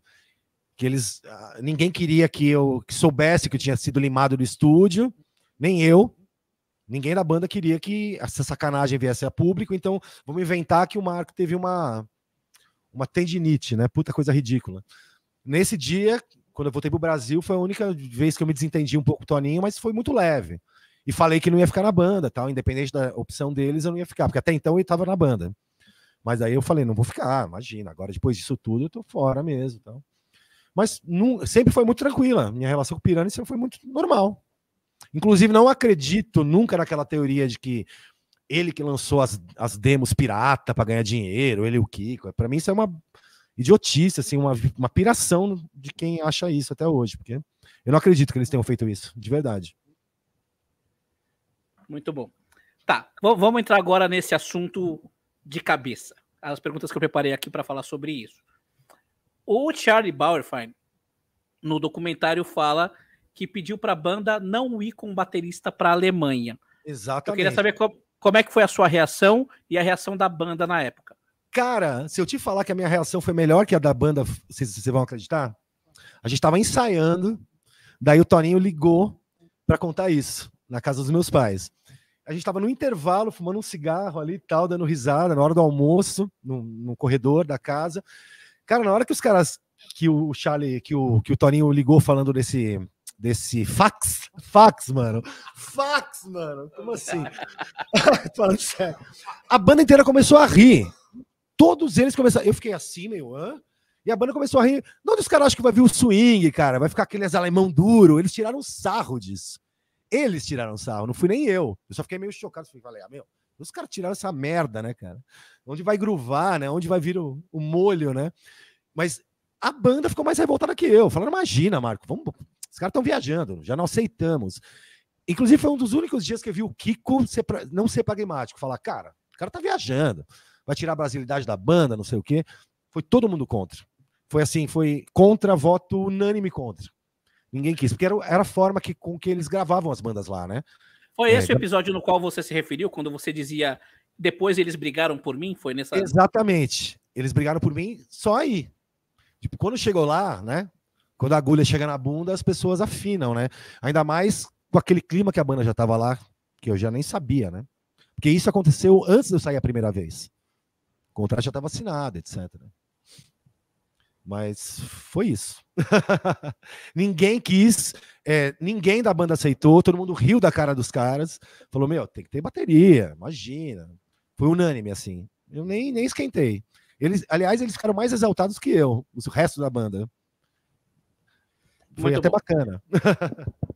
bom, seguindo, é, eu gostaria de saber agora a, a, sua versão dos fatos. Como é que foi lidar com o Charlie Bauerfein desde que você chegou lá, as gravações, é, como é que você foi comunicado de que teria de voltar para o Brasil, como é que foi a relação com a banda toda, é, e além disso, como é que foi emocionalmente tudo isso para você? Eu vou complementar a tua pergunta é, falando uma coisa, uma, uma, acusação, né, que eu acho, sempre achei muito absurda, mas eu tive que colocar no documentário do Charlie falando que a demo, que é a Reaching Horizons, quando, quando ele ouviu, é, falando que aquilo foi programado, que a, a bateria eletrônica. Cara, meu, na boa, isso nem existia no Brasil na época, cara. O Brasil tava engatinhando na tecnologia. Como você. É, uma bateria daquela qualidade. Meu, ouçam aí, cara, a demo Reaching Horizon. Quem quiser, põe aí no YouTube, tem aí ela inteira no YouTube. Cara, impossível ter aquele som. É, não é um dos melhores, porque, meu, obviamente. Lembrando, o negócio foi gravado no começo dos anos 90, cara. Você reproduzir aquilo. É, daquela forma, né, é, é, eletronicamente, cara, isso é impossível, sabe? Então ele falou, falou assim, cara, porque eles mandaram a bateria, a demo pra gente, ela foi programada, era uma bateria, a gente não queria aquilo, a gente queria que eles sentassem no estúdio e gravassem é, a bateria e mandassem pra gente a, a, bateria gravada, entendeu? E aí, a gente, quando ele chegou aqui, a gente viu que realmente, né, entendemos o porquê que a bateria foi pré-gravada. Então eu queria que você comentasse isso, cara. Porra, não! Ridícula, Mas não é nem acusação, isso aí é uma bobagem. A gente gravou ao vivo. Os baixos de batera ali estão. E a guitarra base é ao vivo, gravado em duas polegadas, no rolo. É, existia assim, daria para programar. Não, não, daria para ficar melhor que aquilo. Mas tá na cara que não é. Qualquer, qualquer engenheiro auxiliar de estúdio sabe que aquilo é uma bateria acústica gravada em meia pole... em duas polegadas tocado, cheio de erro, gente. Pelo amor de Deus, tem erro de bateria, tem erro de baixo, tem erro de tudo. É, claramente não é programada, é uma demo tocado na raça. O que foi, o que ele é, deve ter estranhado foi a segunda demo que a gente trigou algumas peças de, de bateria no anonimato porque era uma demo muito rápida, né? Era uma para ser uma demo comercializada como foi a Reaching, né? Era uma demo só para mostrar umas músicas, não precisava nem ter qualidade a segunda demo. Mas não, a gente nunca botou bateria eletrônica em nada. Que não teria demérito, entendeu? Mas não foi, não foi. É, foi tocado. Inclusive. mostrar a música, né? Não, é, é, ainda mais aquela primeira demo a gente tocou. Foi no. Onde foi mesmo? Como chamava o estúdio? Esqueci. É, Guidon. No Guidon. Foi gravar no Guidon com o Fernando Costa produzindo. A gente, as bases ao vivo, bateria baixa, guitarra base, tudo gravado junto. Imagina, viajou. Se ele achou isso, ele viajou assim. Ou ele fingiu que viajou, porque qualquer trouxa sabe que aquilo ali foi tocado e mal tocado. Não é que mal tocado, mas, cara, não é uma gravação que você fica horas. É, a gente não tinha grana para ficar girando lâmpada e volta e voltar. Um, dois, três, foi, foi. Imagina, ele falou isso mesmo? Eu não vi, cara. Que, não é possível, que surdão. Ainda por cima é surdo, mano. mas, é, mas aí, voltando lá na pergunta do Mano lá, como foi a. a é, então, a, vou até repetir o que estava escrito aqui. A, a, sua, porque o Charlie ele conta a versão dele do, de como é que foi a sua saída da banda. E eu gostaria de. A, a, meu, grande, meu grande ponto com essa entrevista era fazer justiça nesse aspecto. Então, eu queria saber, te dando a voz, te dando a palavra, eu queria ah, saber. Eu, eu queria eu saber não... qual a sua versão de como foi lidar com o Charlie, desde o começo na Alemanha, as gravações, como é que você foi comunicado de que você ia ter de voltar para o Brasil, como é que a banda lidou com isso e como é que isso foi emocionalmente para você. Cara, então vamos lá do começo. Eu não me relacionei com o Charlie. Eu vi o Charlie durante duas horas. Só. Porque a gente começou a gravar tudo antes dele chegar, uma semana antes. A gente chegou duas semanas antes de dele, dele chegar. Uma semana a gente ensaiou no estúdio da gravação, e na outra semana eu já comecei a gravar as baterias. E foram duas semanas sem o Charles. Quando o Charles chegou, já tinha gravado essas sete baterias, estavam editadas e perfeitas. Perfeitas, no grid, perfeitas. Perfeito. Você gravou com o Sasha? Sasha, eu gravei com o Sasha. E ele não havia reclamado da, de nada? Nada, inclusive eu, ele, o, o, meu inglês, só quem falava inglês direito ali era o Rafa, o André arranhava, eu, o Kiko e o, e o Luiz entendíamos, mas falávamos igual uns idiotas, então quem ficava ali de meu intérprete era o Rafa. Tava tudo perfeito, cara, gravamos sete músicas, em princípio, né, que foi até o dia que o, que o Charles ia chegar, daí o Sasha falou: já vamos editar então? Vamos editar. Já editamos, passamos para o Akai, para o computador da Akai, editamos se precisava de ser editado, inserimos booms se precisavam ser inseridos tal. Acabou. Perfeito, estava pronto. Daí a gente saiu para jantar e comemorar, eu e o Rafa. Quando a gente volta, tá aquele clima de velório no estúdio. Falei, o Charles tinha chegado, tava lá o Hitlerzão, né, cara? Aí não teve daí, cara, eu olhei pra cara dele e falei, cara, o Rafa me explicando o que tá acontecendo e o Rafa brigando por mim. Rafa virou pro Sasha e falou: Mas Sasha, cara, a gente acabou de editar. O Sasha fazer assim. Tipo, me faz brigar com, com, com, o produtor, entendeu? Porque tava tudo certo, cara. Não tem, não tem a menor sentido isso. O menor sentido. Eu acho que ele realmente queria fazer tudo muito toque de caixa. As bateras e baixos que a gente tinha feito antes eram muito mais complexas do que foram pro disco, mas muito mais. Andamentos, convenções, é, o disco era muito mais rico. E ele não queria isso, ele queria, meu, pegar aquele intervalinho de tempo que ele tinha para voltar pro Sister of Mercy para terminar o disco e ser rápido com os moleques do Brasil, cara. Até hoje os caras, eu não consigo ver como os caras com 50 anos de idade não enxergam isso. Talvez porque eles não queiram ser arrogantes, não queiram falar, sabe, aquela coisa pragmática de músico que vira velho pragmático, infelizmente. Mas porque a real é essa, cara. Vamos ser muito honestos.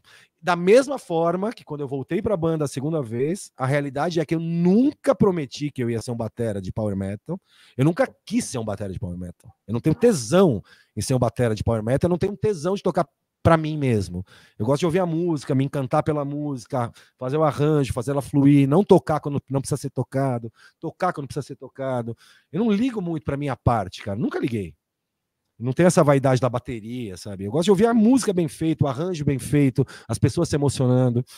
Então, cara, é uma grande bobagem, porque eu nunca é, fui obrigado a fazer nada, eu nunca prometi que faria nada. Tudo que a gente combinou foi feito na Alemanha. Infelizmente, a gente estava naquele clima que só dois sabiam, o resto não sabia o que estava acontecendo, entendeu? O clima já estava péssimo, mas não, a gente não sabia que o clima estava tão péssimo quanto a gente viu que estava lá. Resumindo, é isso. E como é que foi para você? Quando é que você foi comunicado de, de que teria de voltar para o Brasil? Foi a não, banda que te falou isso? Não, eu não teria que voltar. Eu fiquei lá. Eu fiquei curtindo. Ainda passei na França antes. Comprei dois. Ah, então, quando, quando, quando o Alex gravou as baterias, quando o Alex gravou as baterias, você estava lá? Não, eu nem ia mais pro estúdio, nem eu nem o Rafa, a gente nem ia pro estúdio. É... Ah, curioso, você agora me lembrei de um negócio que você diz no documentário que você fala, o Rafael foi literalmente proibido de entrar no estúdio. O, o Charlie proibiu ele de entrar no estúdio? É meio que isso, cara. meio que isso. O Charlie queria tudo muito rápido, cara. Então vem cá aqui que eu grava logo. Aí Ken Heinz vem cá, grava logo. Sasha vem cá, grava isso que vai logo. Queria velocidade, cara. Ele não queria saber que era o primeiro disco de uns moleques do Brasil, que tinham personalidade, que estavam no primeiro trabalho em estúdio. Ele agiu como um burocrata, cara. Eu não sei como aplaudem ele por isso, cara. Ele não tem que ser aplaudido por isso. Isso é, é, é, uma, é um dos pecados do produtor no primeiro disco de banda, cara. Isso não se faz com artistas no primeiro disco de banda. Uma banda já tá ali quebradinha, emocionalmente, você ainda faz isso, cara. Se destrói. Você transforma uma banda numa banda de, de casa quadrada, cara. O arquiteto dessas bandas não, não tem mais saco para fazer o, uma puta obra, cara. Você vai lá e faz arquitetura simples e vira pragmático. E foi isso que ele fez. É, eu, não, eu não consigo entender como os caras, talvez não, eles não verbalizem isso, mas não enxergar isso é uma, de uma burrice artística e intelectual muito grande, honestamente. É, é, uma, é, assim, é muita falha isso. Tô sendo tá. honesto. Seguindo aqui. Uh, você volta para o Brasil junto com a banda, então? Não, eu voltei antes. Mas é, eu voltei antes, aonde eu voltaria já. Porque eu ia ficar um, durante ah, um tá. mês, que era o prazo. Uhum. Eu e o Luiz íamos ficar um tanto de tempo, voltar para o Brasil. Daí ia gravar guitarra, os caras iam ficar tanto tempo, voltar para o Brasil, entendeu? A ida do André antes já foi uma merda. Já, já, ali já, aquilo já foi um cocô, cara. Ele não foi no avião com a gente, foi antes, blá, já, ali já começou a merda, entendeu? Já começou o projeto Vamos Endeusar André, que não era o, o, o objetivo nenhum da banda. Era uma banda, cara, não era a banda do André Matos. Era uma banda. Ali começou esse projeto. Ali a gente já viu que tinha descambado a bagaça toda. Ok. Quando você volta para o Brasil, da Alemanha, você volta ainda como baterista do Angra. É, eu pergunto isso porque eu, eu, gostaria de saber qual foi o momento exato no qual o Marco Antunes deixou de ser baterista do Angra. Eu sei que houve esse episódio de que você teve de fingir que estava com um problema nos braços, que teve de enfaixar os braços. Tendinite. É, é, então, em que momento exatamente você foi desligado da banda? Alguém te desligou? Você se desligou? Como é que foi isso? Foi na casa do Toninho. Foi esse dia que eu te falei anteriormente. Que você, e você discutiu tinha... com o Toninho? Não, eu não rompi com ninguém, na verdade. Eu Não, rompi com todos, obviamente. Não, mas... perdão. O Toninho falou: foi... e aí, Marcos, você quer seguir nisso? Aquele papinho furado. Babá, você não quer esse som, sabe? Já não tinha mais clima. Eu falei: não, né, Toninho? Pelo amor de Deus, tô fora, cara. Vem aqui para ver como vão ser os direitos, como vão ser as coisas. Que também não foi nada resolvido, né? Era tudo muito mambembe no Brasil, né? A, na verdade, cara, tudo foi muito mambembe. As pessoas acham, nossa, o Limby, empresário do Halloween, cara. O Limby foi o primeiro empresário do Halloween, morava num apartamento de 15 metros quadrados, era todo mundo pobre, cara, fudido. O cara conseguiu um contrato. Também não era o Limby, não era nada, velho. Era o Limby. É, pra gente era o máximo, mas não era, não era. Era um cara que trabalhava no underground, que tinha canais de lançar por licenciamento no Japão, que a gente deslumbrou que ia ser do caralho e tal. Claro que foi do caralho para eles depois. Super legal. Nem um terço do que poderia ter sido, mas foi. É, mas a coisa não é como todo mundo pensa, cara. O perrengue não é só a, a pensão da tia lá. O perrengue é tudo. O perrengue é Toninho, o perrengue é Limbe, perrengue é briga. É, a, a gente começou a construir um castelo num terreno movediço, cara. Muito, muito ruim. Muito ruim. A gente foi muito apressado, na verdade. Na minha opinião, vou repetir o que eu falei no começo. A gente deveria ter esperado mais, ensaiado mais, composto mais, feito mais shows, virado uma banda de verdade, conquistado outras gravadoras, mostrando o que a gente queria fazer de verdade, mas nada disso aconteceu. Foi tudo muito violento. Ah, quando o Toninho entrou e quando houve essa primeira briga do Rafa com o André, que a gente também não sabia, as coisas ficaram muito rápidas, muito. Então vamos fazer essa merda logo, não somos amigo porra nenhuma e vamos fazer isso dar certo. Não dá para rolar assim, né, gente? É uma banda que vai brigar para sempre. Por isso que agora eu aplaudo eles, que parece que eles estão numa harmonia bonita, uma banda que se dá bem. Pô, você ouve as músicas, o disco flui. No som você já sabe, né, cara? Você ouve um disco que flui, que a banda tá fluindo, você sabe no, no, no disco. Quando você trabalha com isso, você sabe no disco. Então, eu acho que foi um Stargazer, assim. O Angels Cry tinha que ter sido gravado depois, talvez nem, nem da forma que foi gravado. Enfim, são muitas variáveis, né? É a minha opinião. Mas eu então... saí, na... voltando, só para ser objetivo, saí na casa do Toninho, num sofá velho, lá com o braço engessado. E foi uma decisão sua. Foi minha e de todos, né? Do Toninho também. O cara não me deixou opção. Quer dizer, eu já ia sair. É, mas não me deixou opção. Você não quer tocar isso? Você vai estudar para fazer isso? Eu falei, lógico que não. Eu não quero tocar isso. Aquilo ali eu não quero tocar, cara. Para sempre? Não. Óbvio que não. Não. Nesse período no qual você teve de voltar para o Brasil e nesse, nesse meio tempo antes da sua saída da banda, você conversou com os membros? Você teve conversa com o André, com o Rafael, Kiko, Luiz? Rafael só. É, como é que foram essas conversas? Ah, cara, tristes, né, irmão? Porque nem ele conseguia contar para mim as coisas que aconteceram com ele lá. Eu fiquei sabendo pelas pessoas, depois um pouco por ele. É, foi, ali foi tudo muito traumático, cara. A Alemanha foi um processo traumático pra gente. Não foi, foi muito mais de trauma do que de aprendizado. Para todos nós, cara. Inclusive pro André, eu tenho certeza disso. Ele pode nunca ter falado isso, mas eu tenho certeza que foi. Desde a gente fumando na cara dele no estúdio, até as chatices do, do, do, do, do produtor com ele. Ah, tudo foi chato, cara. Até a dureza, cara. Você entra no estúdio com um espírito duro, cara, não vai sair o melhor de você. Nunca vai. É impossível. Não tem como é a arte, cara. A arte não pode ter esse pragmatismo. Quando a arte vira pragmatismo, você faz música de TikTok de 30 segundos, igual o Zé Felipe, aí tudo bem. Mas quando você tem uma banda, cara, você quer ter uma carreira séria, com uma base de fãs, fazer uma coisa bonita, cara, você tem que deixar fluir. Não dá para ser pragmático o tempo todo. Tem que ser pragmático nos contratos, sabe, nos horários, aí tudo bem, mas na relação entre banda, produção, banda banda, você, cara, a coisa tem que ser boa. Você só pode ter esse tipo de confronto depois de 15, 20 anos de banda, cara. Aí é normal até, né? As pessoas estão de saco cheio, estão ali pelo dinheiro, faz a turnê caça-níquel, aí é normal. Mas três anos de banda, se ter esse clima, velho, porra, pode desistir de ser o Metallica mesmo, cara. Você vai ser no máximo o que é hoje. Não tem como.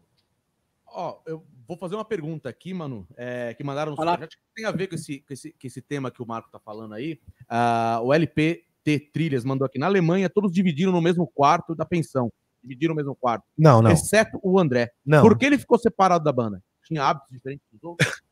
o André ficava com o Toninho num quarto. E no outro quarto ficava eu, o Luiz, o Kiko e o Rafa. É isso que ele tá falando. Ah, gente, pô, tem coisas aí que não dá pra falar, cara. Se o André tivesse vivo, eu até falaria, mas com o cara morto eu acho uma falta de respeito. É mas teve, teve motivos, mas eu não vou falar, cara. Porque aí o cara já tá morto, já mas, é André Matos. Mas não tinha nada a ver com o lance de relacionamento de vocês. Total, tinha a ver total. Então, aí, total. É isso aí, é, é, o que ele perguntou. Tinha, tinha mas, a ver. mas, meu, sabe, tem coisas que a gente não precisa falar, né, gente? É, né, é não tem necessidade. É, bom, eu vou, eu vou continuar aqui na, na, na minha, aqui, mano, aproveitando para falar para a galera aqui da, da promoção que tá rolando agora, né? Aí, mais uma vez, acho que talvez seja a última vez que eu vou falar. Estamos rolando um sorteio aí, cara. É, quem chegou agora, quem fizer superchats aí de 25 reais é, mínimo, tá rolando aqui, ó, a camiseta do Aranhas Negras, cara. Todo mundo quer isso aqui, hein, cara. Ó, é, tem até aqui cedido aqui pro pessoal do pessoal lá do, do arquivo Rock Go, né? É, é uma. Hã? Ele, inclusive, tá no chat aí, meu amigo aí do, do arquivo Rock Go. Cara, é nomia, nominal aqui do, do André, né? Tem, tem aqui um. Que câmera botou? Tem essa aqui? É, aqui, ó. Do André. É, André Matos. Então tem aqui, ó, o Rock Go de 2004, Aranhas Negras. E, meu. Foi legal, hein? Bem legal, cara. Achei bem legal. É, mandaram pra gente poder sortear aqui na live. Temos DVD, episódio 2. Que, que tem essas histórias com o Marco Conta, tem essa parte do Angra, bem, bem, bem, bem explicadinho aqui. Óbvio que a gente tá esmiuçando muito mais aqui. O filme acaba tendo duas horas, não dá pra gente colocar tudo, então você que tá aqui na live tá ouvindo histórias que não tá, não estão aqui, né? Uh, mas episódio 2 aqui, poucas unidades, essas são das últimas, tá? Que tem lá na, na lojinha. Então, se você não ganhar por uma casa quiser adquirir, adquira porque vai acabar, cara. Não vamos fazer mais, porque só faz fora do Brasil. Isso aqui é importado, porque já vem importado, porque não faz mais no Brasil. Então, cara, aqui, ó, episódio 2, vai no kit, ah, no microfone. Tá, vou falar no microfone. Nosso diretor aqui falou no microfone. Temos aqui também, ó, Holy Land, que cedido pelo nosso amigo Denner Ariani. Lacra... Holy Live. Holy, Holy Live. Holy Live. Boa, Manu. Holy Live cedido pelo nosso amigo aí, Denner Ariane, lacrado também, fora de catálogo. Uh, bom, vai nesse kit. Uh, mais um Bottom, que é lançamento lá da nossa lojinha. Bottom André Matos, aqui também. O pessoal tá comprando bastante esse Bottom aqui. Uh, e esses adesivos eu sempre entrego para as pessoas que eu achei lá na casa do André um bolo desses adesivos. Então eu, eu entrego adesivos e postcards aqui do André, é, lançamento do Mentalize. Isso aqui é alemão aqui. Então vai junto aí de, de, de presente. Então, super, super chat, a partir de 25 reais está concorrendo. É, vamos lá, que deve, talvez seja a última vez que eu estou falando sobre isso, hein? Então, deixa... oh, é possível ir até o banheiro ali rapidão, vocês enrolarem? Vai lá, vai lá, vai lá. Meu, pode... Vai que vai. Isso aqui é, né, é, é, acaba, acaba sendo isso daí, o apresentador vai no banheiro, o convidado vai no banheiro. então, é, galera, é, aproveitando que o Marco foi no banheiro, é, tá valendo esse superchat tanto para o. Tanto para o. Essa câmera aqui que eu tô. Não tô acostumado com câmeras, hein? Essa aqui. É, tanto para quem é, tá assistindo aí pelo Imagens, é, no chat aí do Imagens, como no nosso aí do, do Doc, tá? Uh, a gente tá com bastante perguntas aqui no superchat. Meu, a gente está lendo dentro do possível aqui as perguntas, tem bastante coisa que eu e o Manu já, já para manter a linha de raciocínio aqui, e a, a, a entrevista é bem aproveitada, manter um, uma cronologia. Então, galera, a gente vai fazer a pergunta de vocês quando chegar a hora aqui é, daquele assunto que você tocou aqui, tá? É, obviamente que a gente ainda quer falar ainda sobre é, o que o Marco fez pós-Angra, né? Então, acho que todo mundo que é fã é, gostaria de saber o que, que ele tá fazendo, cara. Ele é um excelente músico, um cara talentosíssimo, talentosíssimo. E, cara, a gente vai falar dos trabalhos dele aqui também, então fica por aí. É... Outra coisa, siga a gente nas redes sociais. É, André Matos Doc, se você tá aí assistindo pelo Ibagens, segue a gente lá. Se você tá assistindo pelo André Matos Doc, siga o Ibagens também. É, tem entrevistas toda segunda-feira, lives toda segunda-feira. Tem é, entrevista sempre muito bacana na sexta, né, Manu? Sempre, a maioria das entrevistas é, é Exatamente. As, as, as que são de personalidades é, estrangeiras, né, que falam outro idioma, ele acaba botando na sexta, porque ele faz a legenda para vocês aí ler. Tem um monte lá que, putz, é, Mike Mandini, tem putz, um monte de cara legal lá. Então sigam também, pessoal, lá, o Imagens. Então vamos fazer. A, a live está sendo essa interatividade justamente para a gente é, se ajudar aí, né? Então, se você tá, não tá nenhum dos dois, cara, tem, já entra nos dois. Tem as lá, vai ter as, as coisas do documentário. A gente está fazendo é, um canal de para clube de membros lá no, no nosso é, é, YouTube com cenas deletadas do, dos episódios e também é, com besides, esses besides que a gente comentou aqui, que o Marco falou, que o Manu comentou, falou, pô, você falou num B-Sides lá, coisa que não estão no filme, estão lá no nosso B-Sides. Então, material exclusivo é, para você que é, nos ajuda, porque o filme é isso, cara. A gente faz tudo isso daqui para poder ajudar o filme. E, cara, eu vou falar uma coisa que eu nem ia falar, mas eu, mas eu vou falar, cara. É, exatamente, vou fazer isso. O, o, o, Marco, cara, ele, ele, ele, ele, ele negou várias, caras, entrevistas para várias pessoas. Inclusive, ele falou que vários podcasts é, ficaram falando, pô, cara, é, você vai lá no cara e nunca veio no meu, e não sei o que, não sei o que. Cara, ele topou fazer com o nosso aqui. Quando ele, ele, ele, ele topou fazer, ele falou, cara, eu só vou fazer se você estiver junto comigo, porque eu quero ajudar o filme, eu quero estar tá junto com você nessa parada do filme. Então, cara, é, tudo isso aqui que a gente tá fazendo, né? Pô, estamos aqui no Demeto, pô, segunda-feira o Demeto nem abre. O pessoal do Demeto cedeu espaço pra gente aqui. Então, fazer tudo isso aqui justamente para ajudar o filme. O filme é independente, não tem nenhum recurso, não ajuda de ninguém, de nada, de nenhum empresário, de nenhuma gravadora, de em nada, cara. É na raça que a gente tá fazendo isso daqui. Então, é, é para vocês. Então, ajudem a gente aí. Deixem o like, ó. Pô, eu, a última vez que eu vi aqui tinha 15 likes, cara. Porra, tem. Tava uma hora simultânea aí, quase 200 pessoas. Não, a conta não bate. Galera, deixa um like aí, se inscrevam no canal aqui, tanto no Imagens quanto no nosso. E, cara, vamos fazer crescer aí a, a cena aí, pô. Isso aqui é, é inédito, o Marco nunca, nunca sentiu a vontade, nunca quis falar com ninguém, cara, e, e tá falando com a gente aqui porque a gente desenvolveu uma amizade, a gente se encontra sempre na, na, na, na balada, sempre conversa. E, pô, cara, vamos fazer sim, cara, vamos fazer sim, tá? Tá aqui, então, aproveitem o momento aí e, cara, ajudem a gente aí, porque ele tá ajudando aqui, ó. nem, nem gostaria de estar falando sobre esses assuntos aqui, tá aqui falando com a gente. Então, ajudem a gente aí. Passo a bola novamente lá pro Manu. Segue daí, Manu. Maravilha. Ah, reforçando, pessoal, é, eu tô vendo aqui, aqui no canal do Imagens tem 225 pessoas e 144 likes. E também tem 170 pessoas no canal do Anderson e 101 likes. a conta não fecha, tem que ter mais like do que gente, tá? Então, eu sei que não é todo mundo que pode contribuir com o superchat, não é todo mundo que pode contribuir na vaquinha, mas apertar o joinha todo mundo pode. Tá? Então apertem o joinha, é de graça, não custa nada. Apertem o joinha, porra. Não paga nada. Aperta esse joinha, caralho. O Marco pediu, rapaziada. Então, Aê. assim, quanto mais like tiver, mais o algoritmo do YouTube vai reconhecer que esse conteúdo é relevante e vai recomendar os dois canais na aba de recomendados. Não então, é. a gente reclama tanto que não tem conteúdo sobre heavy metal. Cara, o like de vocês ajuda muito aos nossos canais serem recomendados na aba do YouTube. Então, isso aí é de graça e ajuda bastante. Por favor, deem o like. Seguindo. Tá faltando Marco. tesão nessa, nesse meio, né, cara? Isso, pô. Né? Porra, Aper, a, apertem o like com tesão, por favor. É, porra. Sem tesão não há solução, meu. Marco, Sente o dedo com tesão. Eu tenho uma, uma última. eu ouvi do nosso diretor aqui falei: Ó, oh, essa frase é minha. Senta o dedo com tesão, porra. Se é pra direito, né, mano?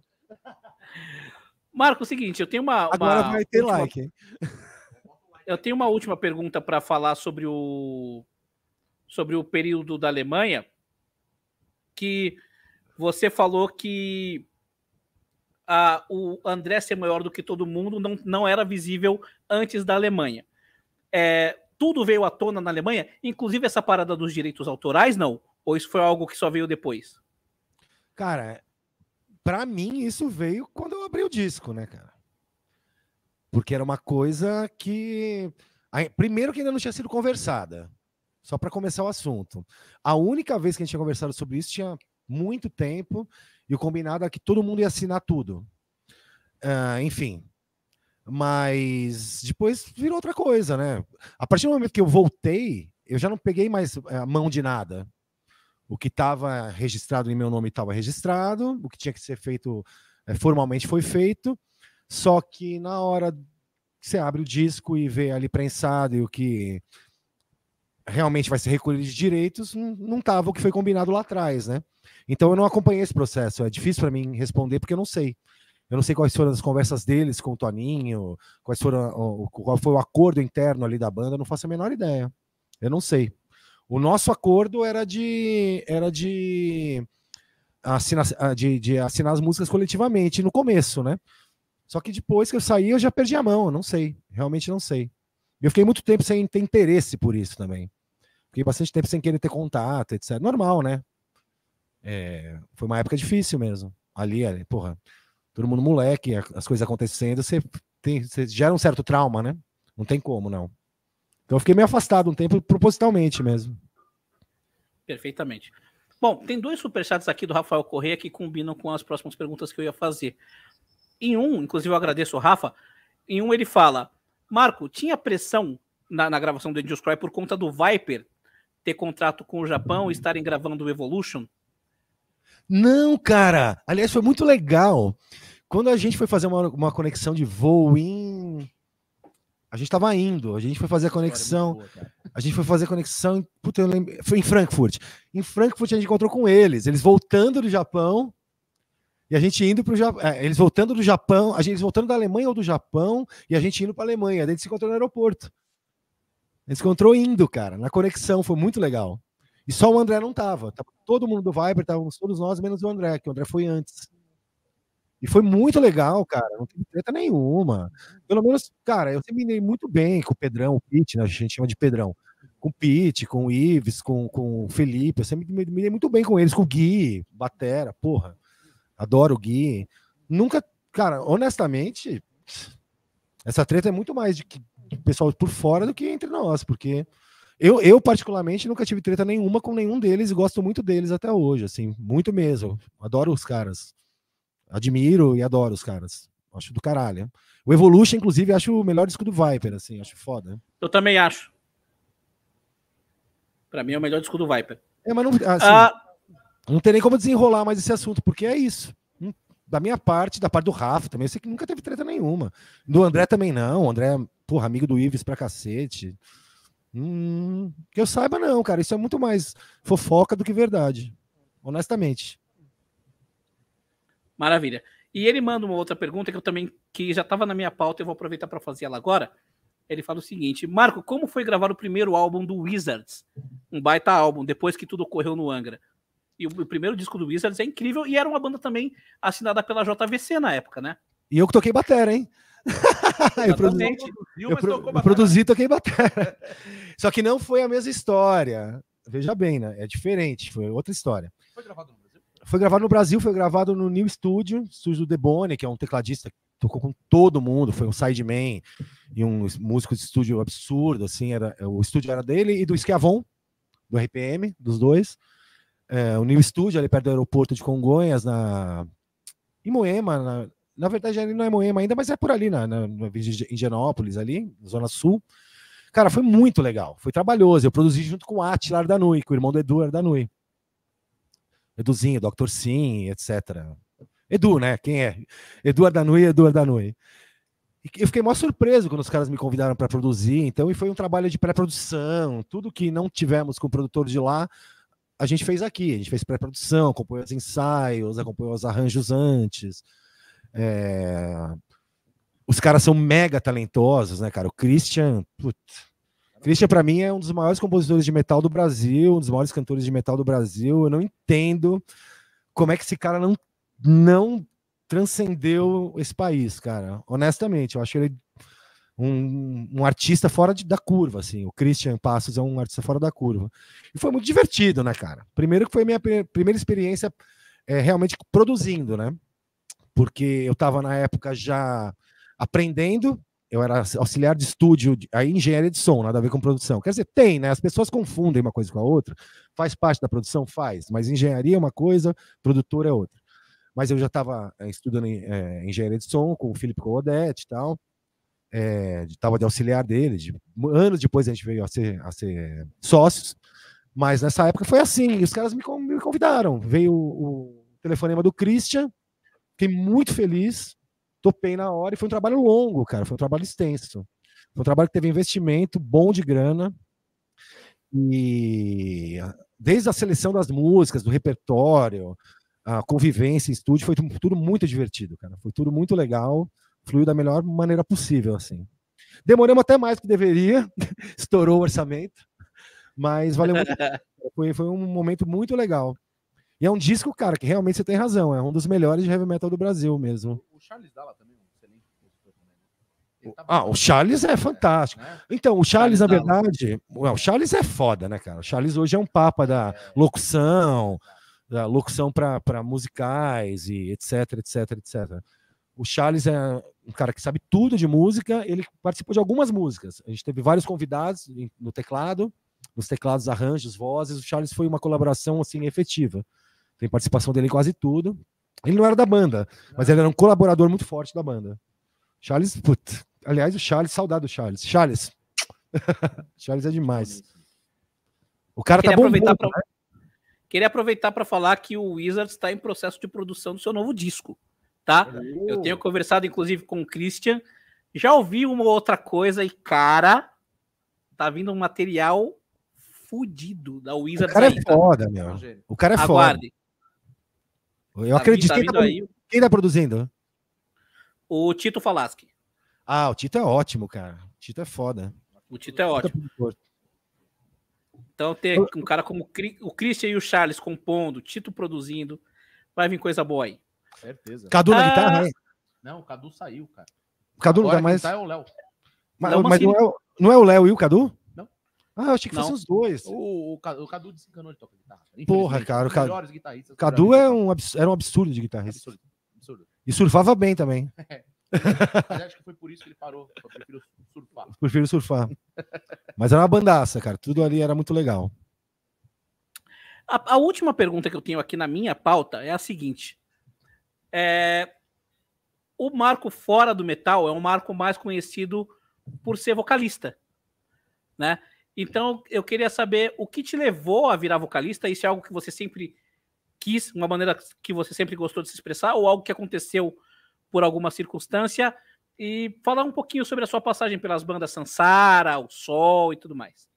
Cara, uh, eu sempre gostei de cantar, sempre cantei e tal, etc. Mas eu nunca pensei em ser o frontman de banda nenhuma. De fato, eu nunca pensei nisso. A minha primeira experiência cantando foi, inclusive, de uma banda, foi onde eu conheci o Luiz Mariucci. Eu tocava com o professor dele, o Márcio Vitulli, baixista. A gente tinha um trio de música instrumental. Uh, que a gente resolveu transformar num, numa banda normal de progressivo, meio Marília, meio pop, com voz, e eu, que eu, ia, eu ia cantar e tocar bateria. Isso já estava acontecendo, a gente estava na fase de composição. Mas daí eu nunca pensei em ser o vocalista da banda, de ser o frontman da banda. Isso foi, muita, foi muito por conta das demandas da vida mesmo, cara. É, não deu certo com o vocalista aqui, não deu certo com o vocalista ali. Daí as pessoas falaram, cara, por que não vai, você não vai para frente? Daí na época é, não tinha mesmo, a gente não tinha mais opção de quem chamar para cantar o estilo de som que a gente ia fazer, e eu fui. e foi assim, mas é uma forma que eu, que eu mais gosto de me expressar realmente ali, com o público, cara. Eu sou meio MC.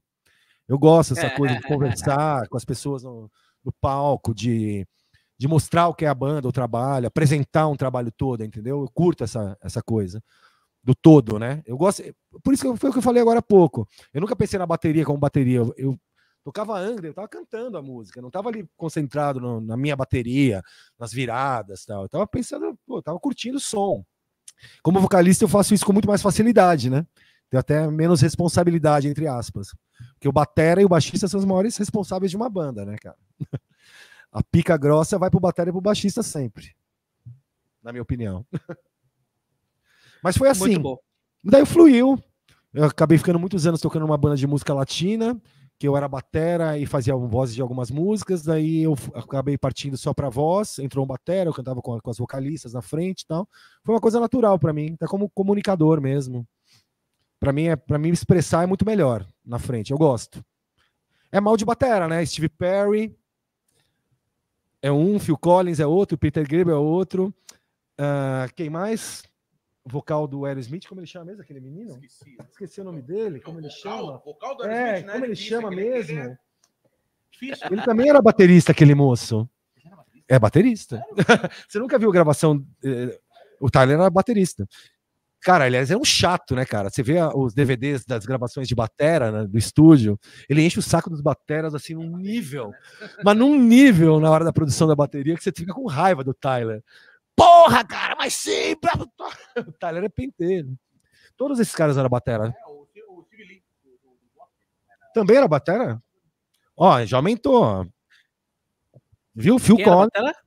Phil... Ah, o, o Chris Cornell era baterista também. Exatamente. Mais um, ó. Porra, tô bem acompanhado pra caralho. Tem uma ligação aí. Exatamente. Pessoal, seguinte, um comunicado pro pessoal que está aqui no canal do Imagens Cast. Olha só.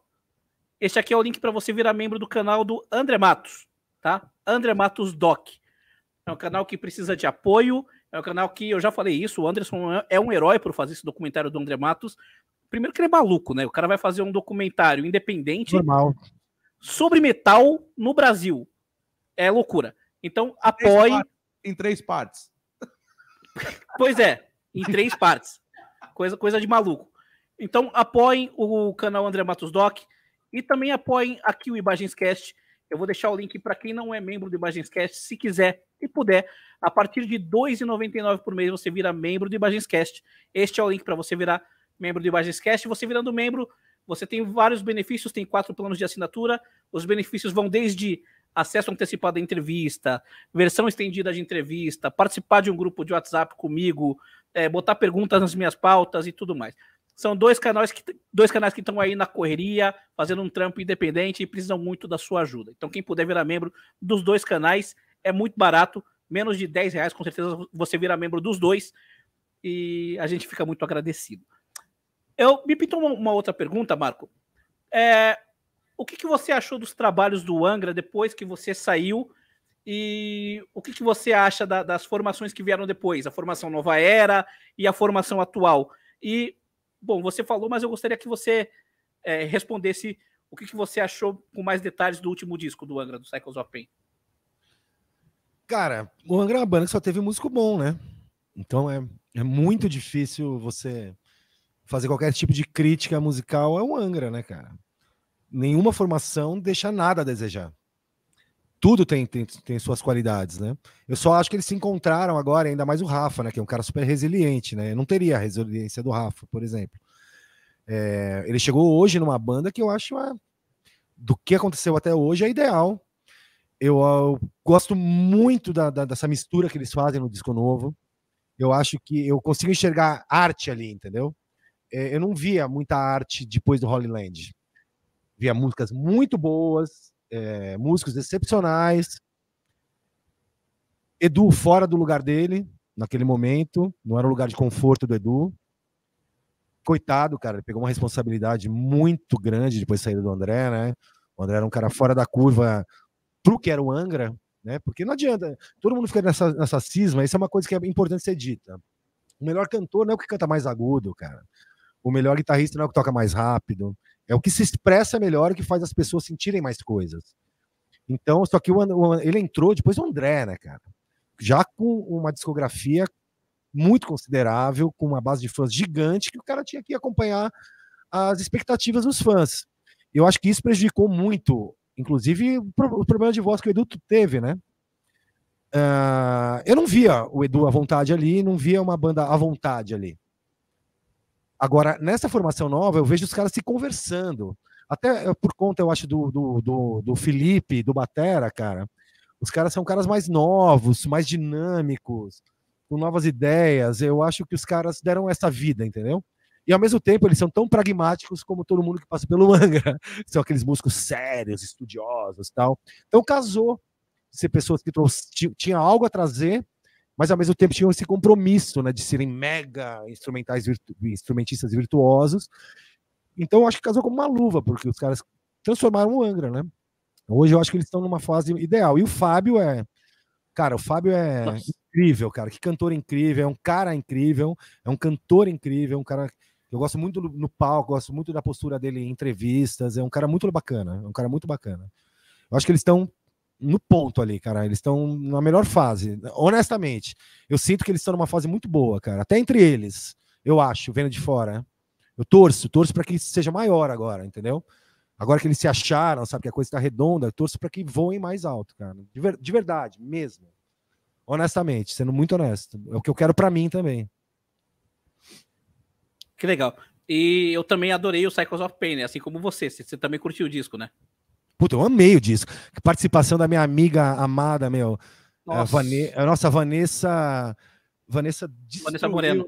É, Vanessa Moreno destruiu. Inclusive, ela vai fazer um. Ela vai participar de uma das músicas do disco da minha banda também, que a gente vai ter alguns feats no disco, no disco de estreia do Sol. A Vanessa é um ponto fora da curva, uma musicista, uma artista incrível, cara, que só contribuiu ali também. Gostei, puta, o disco é um descasso, cara. Qualquer dia a gente pode falar, eu vou ouvir ele com mais calma, assim, tecnicamente, pra gente ter essa discussão melhor. A gente faz até uma brincadeira rápida, assim. Faz uma mini live. E, e, é, e, o, e, o, baterista Marco Antunes, quando ouve hoje os arranjos do Bruno Valverde, o que, que, você, que, que você acha dele como batera? Cara, eu, não dá para não achar que o cara é um mega instrumentista, né, cara? Todos são. É, a gente só tem estilos muito diferentes. Mas não é porque é diferente que é ruim, né? eu sou mais a Tim Eloy, sabe? É mais minha praia, assim. A minha onda de composição de bateria é mais Eloy, por exemplo. O Eloy é um cara mais, mais roots até, né? É, menos cerebral um pouco, mas, cara, não tem. É impecável, não tem o que dizer. O cara é um cara impecável, um profissional, ah, né? Na risca, pode tocar em qualquer lugar do mundo. Não tem o que dizer. Sempre foi, né? O Angra sempre foi muito bem servido de músicos e de. Não tem o que ser dito sobre isso. Os caras são excelentes. Bruno é muito bom, né, cara? O moleque é foda. Maravilha. Marco, eu, o seguinte. Eu, eu queria que, Pode falar, ele, eu, queria que ele, que, ele, que ele. Já que ele entrou nesse assunto dos, dos, dos das participações no disco da, do Sol, quer saber o que você pode Isso. contar aí, cara? Meu, acho que a galera tem curiosidade de, de te ouvir. Muita gente me, me assim, que me, me encontra, é, fala do documentário, fala, pô, cara, meu, é, deveriam ter dado mais é, atenção pro Marco. Acho que meu, a, a, galera que viveu aquilo, meu, é, eu vivi aquilo, né? Eu vivia ali no Blackjack, no, no São Paulo, os lugares que ele frequentava, apesar da gente não ter se conhecido nessa época, eu já ouvia muitas histórias é, do que aconteceu com ele nessa época do Angra e tudo mais, e sempre defendi ele, porque eu sempre achei que ele fosse um cara muito talentoso.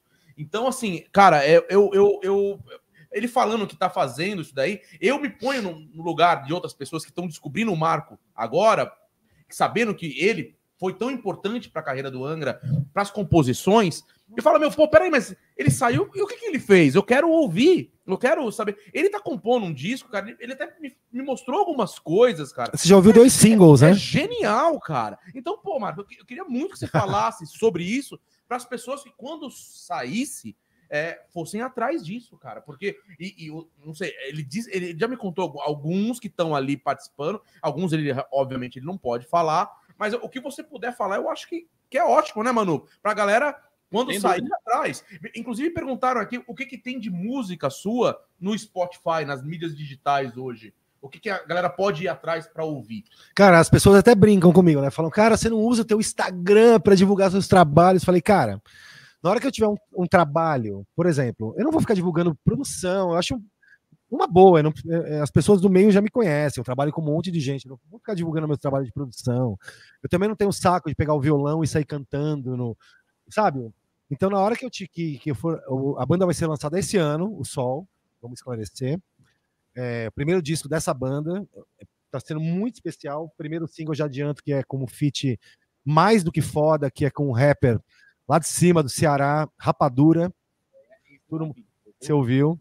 Rapadura que gravou com a Loki agora, com o Whindersson. O cara, puta, concorreu ao Grammy, é fenomenal. Ele é o primeiro, primeiro feat do disco.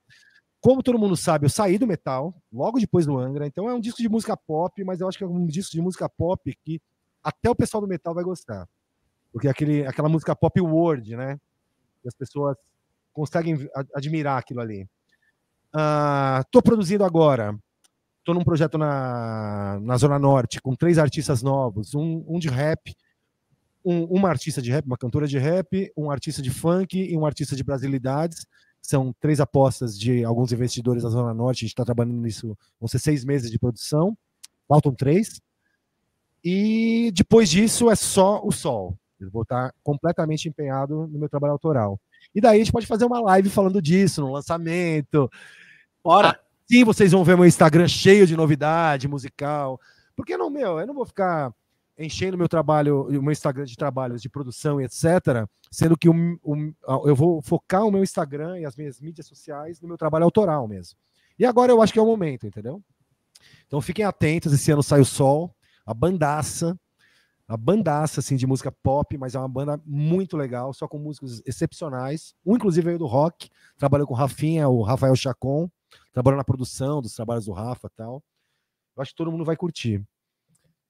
E ah, acabei de fechar também uma parceria com a Dueto, a editora Dueto, que é uma das maiores do Brasil, que vai editar as minhas composições, inclusive hoje até músicas que eu faço para os artistas, eles vão começar a a editar também, porque eu fui ghostwriter, ghost songwriter durante muitos anos, e agora a Dueto me convidou para ser compositor deles também, além de ser a editora do Sol. Então é, tem várias coisas acontecendo agora direito, entendeu? Com, agora eu vou sair como artista mesmo. É, é assim, dos trabalhos dele que eu conheço. Mas você ouviu o novo, já quatro músicas, eu, três eu, ou quatro? Eu, ouvi umas três músicas. Ele ouviu já uns três singles. Ele, mandou, ele falou, pô, ouve aí, cara, o que você acha? muito foda, cara, porque Olha só, é, eu vou contar uma. Eu contei para ele, cara. Ah, já. só uma coisa, vai ter Heleno também, que ganhou agora o Canta Comigo. Aí, ó. Heleno também é um dos feats. É, tá contando pra galera. É, ó, já contei dois, hein? Rapadura e Heleno. E, cara, ah, falei da Vanessa também, vai ter Vanessa Moreno também. Aí, ó, foi pro, pro, pro, pro, pro disco do Angra, cara. É, cara, eu, eu, eu contei para ele, cara, nesse, é, essa leva de discos aí, né, que, que veio da casa do André, que eu falei do Arra, né? Meu, eu, eu peguei e mandei uma foto. Meu, tinha o disco do, do, do, do Sansara. Né? Ah, Sansara é uma banda que eu toquei. ele tocou no Sansara, que inclusive era o Leque Filho que tocou no teclado. Era o Zaza, André Hernandes na guitarra. E o vocal era o, era o Jaque? E o Léo Mancini. O Léo Mancini, Jaque depois o Jaque, não, o vocal era eu. Você, depois, o, depois entrou Jaque e Roger Bennett nas guitarras. No lugar do Léo Mancini e do André Hernandes. E aí o André tinha o disco, cara, do, do Sansara. Tinha. Aí eu perguntei, foi você que deu? Não, não fui eu. Eu não sei quem deu pro André. Pode ter sido o André Hernandes. Ou, ou, ou, ou Rafael Rosa. Você também. que o batera era o Rafael Rosa. Rafael Rosa que também tocou com, com o André. Então, cara, pô, todo mundo ali no, no meio todo mundo se conhecia, todo, meu, todo mundo fazia música, né, cara? Pô, e, e eu, eu tô convencendo ele a, a liberar pra, pra botar pra vocês assistirem, ouvirem o disco do Sansara, que é genial, cara. Pra quem gosta de música pop, cara. E a gente nunca lançou aquele disco. Então, é uma pena, porque eu falei, cara, um disco excelente. Mas cara. tudo tem um motivo, cara. Tudo tem um motivo, tem seu momento. Tudo tem um motivo pra não ser feito e pra ser feito, entendeu? É um disco incrível, cara. É... Eu, eu, lembro de ter visto eles uma vez na, na Turma da Cultura. Todo mundo vê aí a Turma da Cultura do, do, do, do Angra, né? Tem aí um vídeo aí, tá na internet, é que tem aí os caras tocando lá na Turma da Cultura. Eu vi eles tocando. Ah, você viu Sansara na Turma da Cultura. Na Turma da Cultura, que era o Jack que cantava. Nessa época era. É isso aí. Nessa época é, era o Jack. Eu lembro. Jack Farer.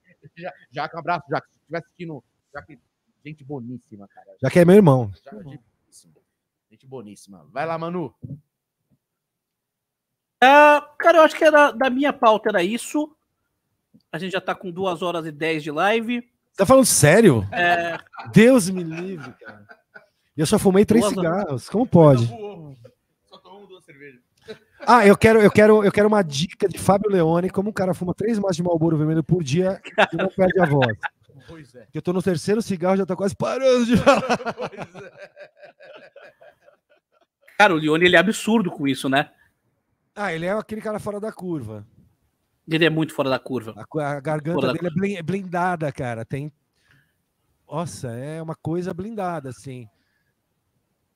É, então, a, a, o diretor tá falando para eu ler o superchat. Aqui tem um superchat que eu deixei para por último aqui. Foi um dos primeiros que chegou, da Nancy. Ela pergunta assim: Oi, Marco, o que você te tirou de lição de vida depois da experiência com o Angra, com todos os altos e baixos? E o Nossa. que você curte hoje em dia além do metal? Ele falou que gosta de pop, mas eu gostaria de falar o que, que você está ouvindo, o que está tocando no, no teu carro, no teu Spotify? Cara, de lição de vida precisa de um programa inteiro. Se eu começar, eu não vou parar. Então é melhor, é melhor eu te responder isso outro dia. Mas senão não vai parar mesmo. Então vai lá, conta o que você está ouvindo. Mas, cara, eu parei de ouvir. Eu, não é que eu parei, eu ouço metal sempre, mas eu ouço. Para vocês terem uma ideia, quando eu cheguei na Alemanha, você sabe qual foram os discos que eu comprei? Na gravação do, do, do, do Angels Cry? Eu, tinha, eu comprei, naquele momento, o último da Xadê, o último do Tears for Fears e o último do Seal. Então, na, em, na, em 93 foram os discos que eu comprei. Então, cara, você imagina o que eu tô ouvindo hoje. Eu ouço tudo. Eu ouço de, de Megadeth e Anitta. Literalmente. Tô falando sério. Cara, eu vi o disco novo do Angra, cara. Eu ouço de Alok a, a nova loira do Chan. Não, não tem preconceito. Eu gosto de música, cara. De verdade. Sem vaserinagem, assim. Eu ouço realmente de tudo. Me impressiona muito a, a Willow, a, a filha do Will Smith, que é um absurdo de artista. Eu acho ela. É, as coisas que eu mais estou ouvindo hoje é ela. Assim, de longe. Todos os discos da, da mulher são fantásticos. São, acho que são três álbuns já, né? a Willow, vocês conhecem? Você conhece, Manu? Sim. Nossa, eu acho foda. Tô ouvindo muito. Tô ouvindo bastante coisa de, de as bandas de, de prog gent também, que estão rolando bastante. Tem coisas muito legais, né, do gent, assim, as bandas de, de gent.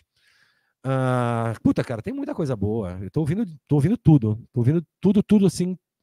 Rap brasileiro, eu sou muito fã de, do rap nacional, trabalhei muito com rap nacional também, então eu gosto foi uma fase importante da minha formação como, como engenheiro de som e depois lupeando, fazendo samples tal, com, com o povo do rap. Então eu ouço muito, cara. Eu ouço, eu ouço de tudo. Agora, voltei né, a trabalhar agora com esse artista de rap e tal, tô me reconectando com essa galera, botando guitarra no som deles também, botando guitarra no pop de outras artistas, outros artistas.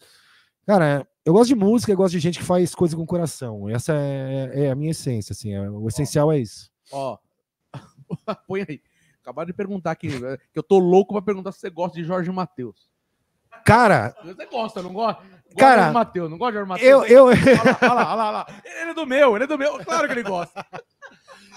Eu acho o Matheus, é, é tão, o Matheus é um cara muito legal, né? É um cara fora da curva, assim, um cantor muito legal. Que deve ter um chip que ele fabricou com a voz dele tem um chip Matheus e um, e, um, e um chip Marília Mendonça, que eles venderam para os outros cantores.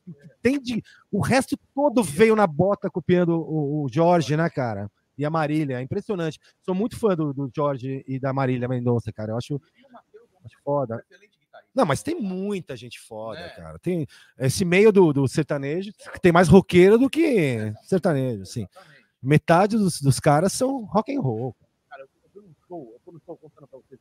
Fui no show do Jorge Matheus com uma, uma namorada minha. Cara, e, e, e aí é. Eu fui, não, eu sou. Sei lá, eu sempre de preto, né? E aí o, cara chegou pra mim e falou: Cara, que legal, cara. Você vem no show do, do metal, né? Você vem no show do Jorge Matheus e traz a sua namorada. Aí minha namorada falou, não, não, não, não. Foi ele, ele que me trouxe. Aí o cara falou assim: não, não, não é possível, é possível. Aí começou o show, eu cantava todas. O cara falou, porra, cara, o cara de fivela, fivela e chapéu de cowboy. O cara, porra, cara, você conhece mais do que eu. Pode do Jorge Matheus, cara. Cara, excelente, fora da curva. Eu tô ouvindo muito New Country também, muito sim, New Country. Sim, sim. Eu acho o, o, Jaque, o Jaque é especialista nisso, né? O Jaque é, o, é, eu acho que é o cara que mais conhece New Country no Brasil. Exatamente, exatamente. É, Carlinhos Anhaia, Sim, que é um. Carlinhos, para quem não sabe, Carlinhos Anhaia é um guitarrista e produtor excepcional que a gente tem, que o cara ele é diretor musical há, há anos do Villa Country. Trabalhou com o Val. Ele, é, é, ele tem uma essência do rock, né? E é um dos caras mais importantes do sertanejo hoje, é o Carlinhos Anhaia, cara. Irmão do Paulinho Anhaia, que é produtor mitológico, ganhador de Grammy no, no, no, no, Midas, né? Fez muita coisa de. Não, não, não. Fez com Charlie Brown. Charlie Brown Charlie ganhou Brown. Grammy com CPM. Uhum. Paulinho Ayaia. É, é, os irmãos Ayaia são fantásticos, cara. Tanto na cabeça quanto na música. Cara, a música tem que ser vivida na plenitude, cara. E tem que ser feita de uma maneira séria, mas ao mesmo tempo não pode ser pragmática demais. Você quer viver. Se você quer fazer música autoral é uma coisa, se você quer ser sideman é outra, se você quer ser um músico marqueteiro de internet é outro caminho. Cada um tem um caminho, cara. É isso. O meu caminho como artista é fazendo música autoral e hoje sendo cantor. Agora, como produtor, eu estou andando em todas as áreas e gosto de andar em todas as áreas, de verdade, assim, me faz bem. E a, o, que eu, o que eu recomendo às pessoas que fazem música é fazer todo tipo de música, cara, sem preconceito. Mesmo assim sem exigências, grandes exigências sobre si mesmos, inclusive. É isso. Isso aí. Então, pessoal, antes de encerrar aqui, eu vou, vou falar. O Manu vai dar os recados dele, eu vou dar os meus.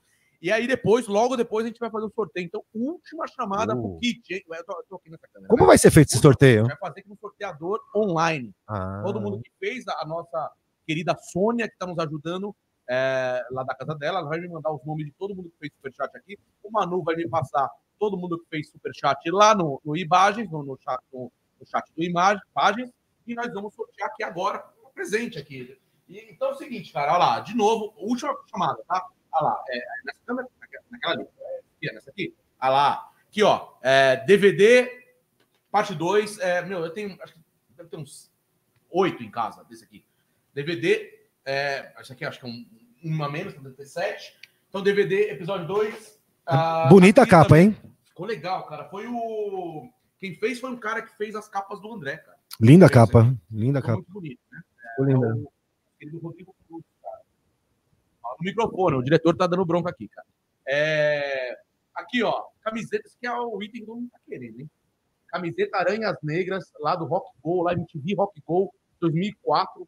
Cara, aqui, ó, Rock Go e tem aqui o nome do André atrás superchats aí de 25 reais, tanto lá no, no chat do Ibagem.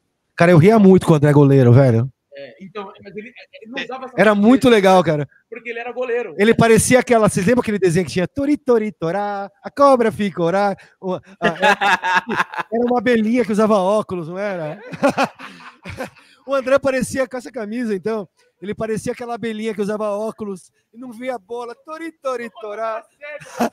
Mano, você bota, você bota um baixinho cego no gol, mano. Pelo amor de Deus. Ainda bem que tinha Luiz e o Hugo né, no time. O Bros, cara, que jogava pra caramba, cara. Sim, Mateu, Mateu, o Matheus e o André do Bros. Aliás, os moleques da Bros, cara, gente boa pra caralho. Gente boa, gente boa demais. E aqui, ó, Holy Live é, é, lacrado, tá? Aqui, é, é, edição, meu, já não existe mais. Dá para comprar isso mais. Se for comprar no eBay, você vai pagar, sei lá, 200 reais isso daqui. Então, ó, 25 reais você tá concorrendo aqui nesse kit. E, uh, por último, uh, aqui o Bottom, né? Que é um lançamento lá do nosso, do nosso canal, uh, do nosso na nossa lojinha. E também vai junto aqui de, de brinde aqui uns adesivos uh, e uns postcards aqui da época que o André lançou o disco solo dele, o Mentalize. Então vão junto de presente para você. Última chamada. Última chamada. Então, é, pô, de antemão, é, não, né, depois eu vou agradecer, mas, pô, cara, estamos aqui. É, antes de agradecer, estamos aqui avisar que nós estamos aqui nesse ambiente que é o The Metal Bar.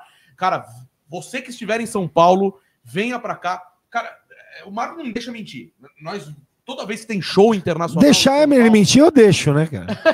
Como que você, a pessoa mentiu, já deixou. Tô brincando. todo show internacional que vem para São Paulo, cara, todo show internacional, o, o, o, after do show é aqui no The Metal Bar. Pode vir para cá que, meu, você vem para São Paulo, vai, vai ter o Iron Man também lá no final do ano. Mas tem agora Lola Palusa, tem um monte de show. Cara, eles sempre abrem até as quatro nos dias que tem show. Então, Cara, vem aqui comer o, o, o Angus hambúrguer aqui, meu, é o melhor da cidade. Não, de verdade, não é jabá, não é puxação de saco. Esse bar é muito legal. Meu, cara, você vai, bar, a vibe é legal, o clima é legal, o som é excepcional, a comida é foda, a bebida é perfeita. Quem atende é demais, os donos, o pessoal do bar, todo mundo é. Meu, esse bar é do caralho, cara. E, e outra, bar legal. Que toca, é, não é um DJ, não é nada programado, é você que faz as músicas. Você vai lá, posso pedir música, posso fazer sua listinha lá e, e, toca, cara, a tua música, né? A música que você quis. Então é, é democrático. Então vai tocar o, o, black metal ou o hard rock. É, é totalmente democrático. Então, é, venha pro The Metal Bar, cara, com certeza a chance de você encontrar ele, o Marco aqui, é grande. Ele tá sempre aqui. É, digamos que é bem grande. Ele tá sempre aqui. Arthur de Azevedo, 637. Nosso diretor tá falando aqui, eu sou péssimo de endereço. Arthur de Azevedo, 637. Dinheiro, caras vão botar no Google, The Metal Bar, ou botar no, lá no, no, no Waze, ou no, no, no, Uber que você vai pedir, vai aparecer The Metal Bar, cara. Pô, então vem aqui, ó, os cardápios que são capa de vinil, cara. É o que. Ai, sigam o The Metal Bar nas redes sociais, claro, cara. Arroba The Metal Bar. The Metal? The Metal.bar. Sigam lá, pô. E no Instagram, apenas The Metal Bar. Olha lá, capas, ó. Aqui tá o cardápio, você tem as capas do disco do The Metal Bar. Você vai encontrar. Aqui a gente botou aqui a do Angra, do, do Viper, aqui, porque é a temática. É. Tem do Destruction, tem do. Aqui, ó. Destruction, botei o outro ali. Tem do, do, do Running Wild, tem, tem aqui, ó, do, do Sabá, cara. Cara! Sabá. É legal pra caralho, cara. É temático. Vem pra capa do Metal Bar, você vai ver um monte de pôster de shows autógrafos. Cara, uma, uma, ali perto do banheiro, uns lambi-lambi. Lambi-lambi dá pro meu Cara, tem uma coisa muito importante no The Metal Bar. Tem uma coisa muito importante. Além de ser um bar muito bom, bonito, com a comida. Cara, a comida é fantástica, a bebida é fantástica. O, é o banheiro mais limpo de São Paulo. É mais limpo que a, que é a balada mais cara dos jardins. Isso eu acho é a coisa que eu mais vejo num bar. O banheiro tem que ser impecável. O banheiro daqui é impecável, cara. cara cervejas de banda. Vá ao banheiro sem problemas, no The Metal Bar. Ó, cervejas de banda, não acha em qualquer lugar que tem todas as bandas Iron Maiden, tendo né, os, os, os whiskies, é, vodka do, do, do CDC, do Motorhead. Cara, puta, tem caralho, animal, cara. Aqui, isso aqui é. Meu, a geladeira tá atrás da gente aqui, a gente. Meu, tá é, é de louco, cara. Então vem pro The Metal Bar. Você com certeza encontra a gente. Tem os posters do filme também aqui. Meu, tudo é feito aqui, cara. Todas as, a, a, as coletivas de imprensa do filme, todas eu fiz aqui. Todas os caras me abriram é, o bar para fazer é, é, coletiva ou alguma coisa especial do filme. Então, agradeço aí ao The Metal Bar aqui, o Fábio, que está aqui até essa hora aqui com a gente aqui, tá? O So, é, o Gu, cara, o, o, o é, são, são, os quatro, o Rudney, Rudney que é meu, meu amigo que estudou, estudou comigo, não, é, trabalhou comigo lá no Estadão, cara. O Rudney é o que menos vem aqui, mas, pô, são os quatro sócios que são, ó, brothers, viraram meus, meus amigos já, cara. Mas pode vir, não tô falando isso por demagogia nenhuma, não. O Marco, até na hora que falou, meu, vamos fazer isso junto num lugar. Na hora que eu falei, meu, que, que tal a gente fazer no The Metal Bar? Ele na hora fechou. Pô, cara, porque eu acho mais legal do que cada um na sua casa, né? Cria uma dinâmica, pelo menos aqui a gente dá risada, fica bêbado junto. então, venham ao The Metal Bar quando vocês estiverem em São Paulo. Quem for de fora de São Paulo, quem é de São Paulo, venham ao The Metal Bar, que é um bar muito legal. Aí eu passo agora a bola para o Manu e, meu, a gente já encerra o, o, o, o sorteio. Pessoal, seguinte. eu tô fazendo um comentário aqui no chat que é para vocês seguirem o Marco no Instagram, tá? Marco Leão Sol, já que ele falou que o Instagram dele chegou o momento dele usar mais para divulgar a banda dele. Ainda não chegou, lá. ainda é o Instagram muito engraçadinho e político. ainda é muito pessoal, mas segue lá, né, gente? Veja as pois minhas é. É divertido. Marco Leão Sol. Então sigam ele lá. Assim que tiverem atualizações, ele vai divulgar. E já fica o convite aqui para o Marco para quando sair o disco do Sol. Você volta para cá. Tá combinado. E a gente vai, a gente vai mantendo contato. Aproveito já para agradecer é, primeiro a todo mundo que participou aqui da live. É uma live muito especial. É uma live que eu e o Anderson a gente está planejando há mais de dois meses, detalhadamente. Pauta, organização, local, tudo. Então Faltou a gente está entregando. Faltou alguma coisa, cara? Se faltou, fala aí. Cara, não. Não? Eu, eu acho que não. Eu acho que não. Talvez tá amanhã eu me lembre de alguma coisa e fique arrependido, mas, mas não. não, mas sempre é igual mixar disco, cara. Você nunca termina se for pensar nisso. Você abandona o disco. Pois é, é, é exatamente isso. Mas eu acho que foi uma live muito justa, uma live que faz justiça a uma pessoa que merece muito mais crédito do que teve na, na, na história do heavy metal brasileiro. E, eu, e foi uma live que foi feita, assim, na minha opinião, sem polemizar com ninguém, sem apontar dedos para nenhum ex-integrante. Houve uma. Houve. A única, a única pessoa que você falou diretamente foi o Charlie, como produtor, mesmo assim foi como produtor, mas ah, não polemizou com nenhum ex-membro, pessoalmente. Não, e nem tem, e eu acho que por que ser. Não é intuito. Pois é, nunca foi nem meu intuito, nem intuito do Anderson. Era o intuito, sim, é, fazer justiça à história do Marco Antunes, que é uma, que é uma história que vocês acabaram de ver. Tem muito mais do que o que é conhecido, né, o que é de conhecimento público. O Marco foi muito mais importante para a história, não só do Angra, mas do, do, metal nacional. O cara produziu e gravou o Wizards, enfim, do que muita gente conhece. Então, fico muito feliz de conseguir entregar essa live aqui com o Anderson, a quem eu agradeço já de antemão, cara que é parceiro aqui do canal e está mais do que convidado para voltar outras vezes. Agradeço a todo mundo do canal do, do documentário do André Matos. É, vocês ajudam muito o Anderson a tocar esse projeto. Se quiserem, se inscrevam lá no, no Imagenscast. E eu falo mesmo para o público do Imagenscast. Se inscrevam no canal do André Matos Doc. Agradeço mais uma vez a todo mundo que participou com comentários, com superchats, mandando like. E finalmente a você, Marco. Cara, finalmente mesmo.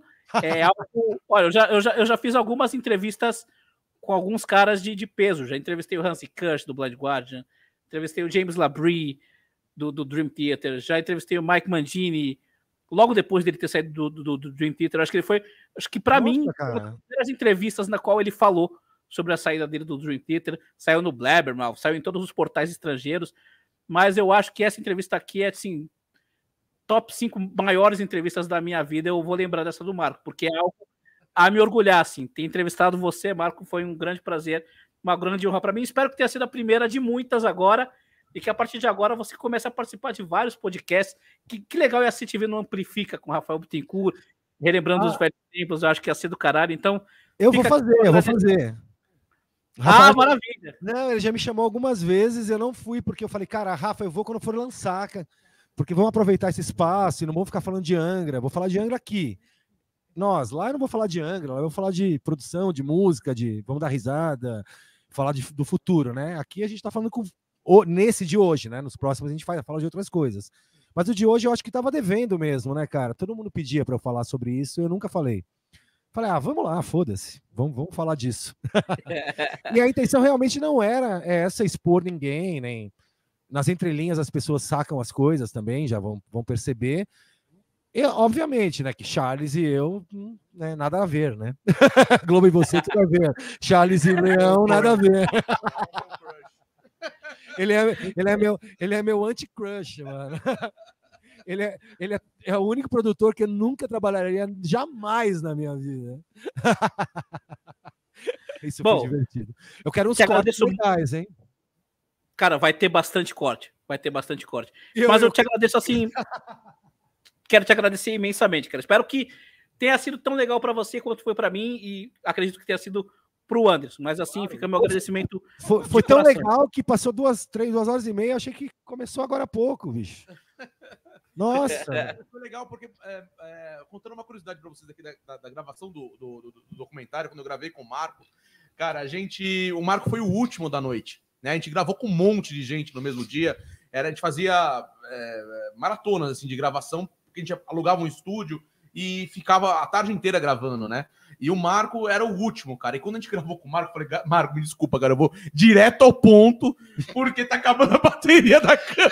Cara, olha isso, bicho. O cara me chama pra gravar e a bateria da câmera acabando.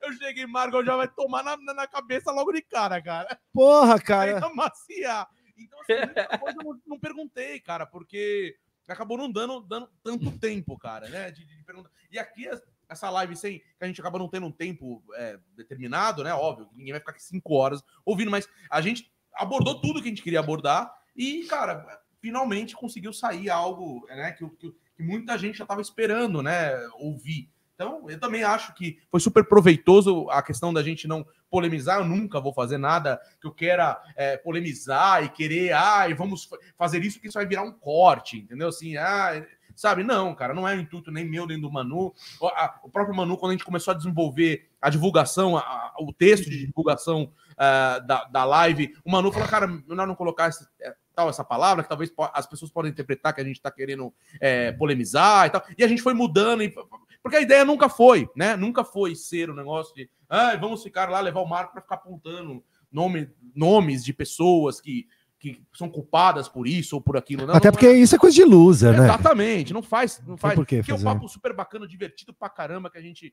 É, é, que o Marco, que o próprio Manu falou, fizemos justiça. É esse que é, que é, que é, o, que é o principal, né? Dar voz para ele e deixar ele falar o que precisa ser falado, né? É o que eu vi, eu vi. E às vezes, muitas vezes, que terminavam minhas lives com o Manu, a gente ficava mais de uma hora, né, Manu, depois da live batendo papo e eu falava muito do Marco. Falei, cara, é que a galera não conhece o Marco. Meu, conheço o Marco. O Marco faz isso, faz aquilo, faz aquilo, faz aquilo. E aí a gente sempre. E, e o Manu sempre, porque sempre quer entrevistar esse cara, quero entrevistar esse cara. Ah, eu nunca parei, né, cara? E agora, né?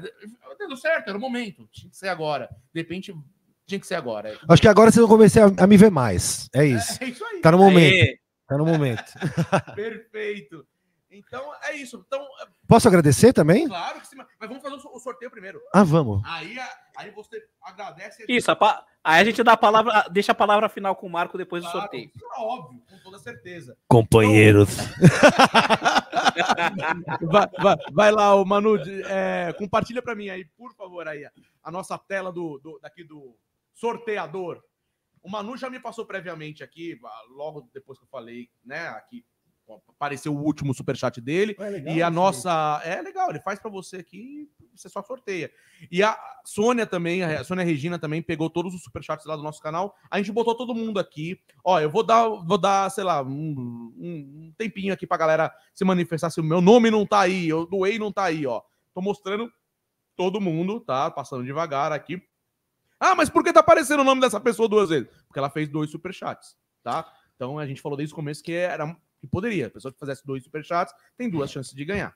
Ah, o sorteio no superchat. É, era superchat. Aí, ó, como o Rafael Correia aqui, ó, ele fez dois seguidos, então ele tem dois aqui, ó. Você vê outras pessoas também, Graziela Pila também tem dois, a Karina Ribeiro tem dois, tem dois ou três, ou sei lá, não sei. Mas tá todo mundo aqui. Tá, então se manifestem aí, galera, antes da gente apertar pra, pra, pra sortear. Aí, ó, a gente clica aqui e aí sorteia para nós. Então, vamos esperar mais um pouquinho, vamos lá, vamos esperar. O Alessandro Silveira falou que o nome dele não tá. De quem? Alessandro Silveira, e ele realmente mandou este super chat aqui, ó. Uh, mas do, é, do seu, ver... é do seu, Manu? Não, não, foi no teu canal. Sônia, por favor, cheque para mim, por favor. Aí, ó. Vai lá, Sônia, checa para mim aí, Alessandro Silveira. Eu sei quem ele é e ele realmente ele ele ele, ele ele, ele, inclusive, ele... inclusive, eu acho que até vale fazer a pergunta que ele fez pro Marco. Qual, qual música sua cara, do Angra que você mais gosta? Qual? Qual a música sua do Angra que você mais gosta?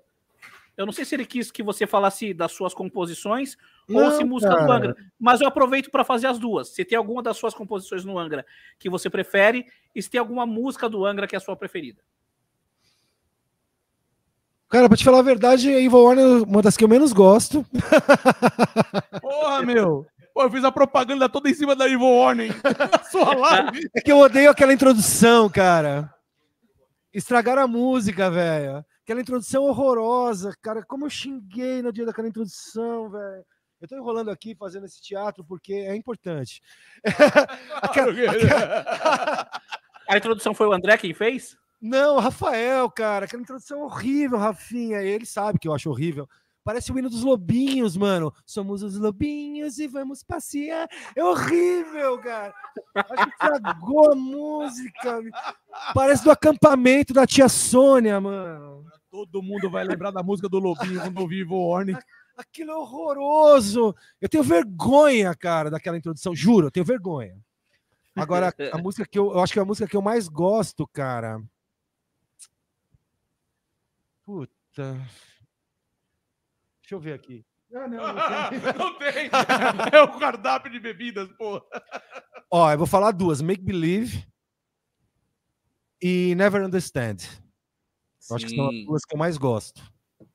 Gosto, tenho muito carinho pela Angels Cry, muito assim, acho foda, uma música muito foda. Daqui a pouco eu falo disco, vários discos inteiros, né? Não, de verdade, é... A que eu mais gosto mesmo é Make Believe. E depois Never Understand. Do, São as duas que eu mais gosto. A, da, a da, Vanessa? A da Vanessa é maravilhosa. maravilhosa. Mas eu preciso digerir melhor ainda, sabe? Ainda não tá. É, maravilhosa aquela música lá. E a, e a outra que, ela, que ele gravou com a. Eles gravaram com a Amanda Somerville. É, é, qual que é o nome da música? Tears é, of Blood. Tears of Blood. É linda, é linda. É que não é aquela que pega na minha veia, sabe? É. Mas é, é, eu gosto muito. Eu gosto muito também da Nova Era, acho Foda, uma música muito foda, muito boa.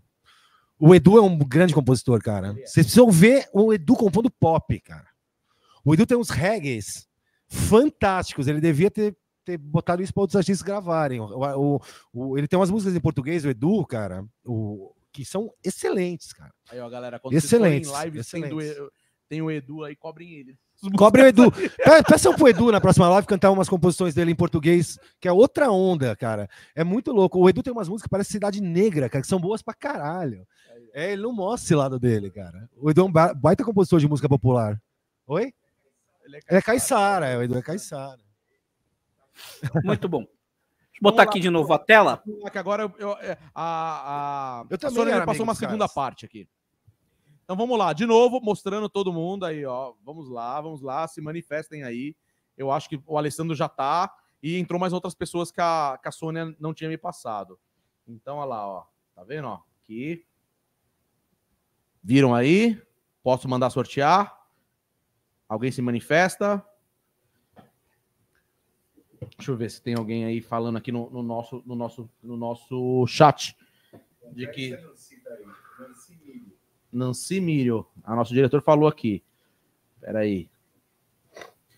É que o superchat passa muito rápido, por isso que eu, eu não consigo fazer, cara. Eu peço para a Sônia me ajudar. Deixa eu ver aqui, espera aí. Nancy Mírio, tá aqui, ó. Nancy Mírio.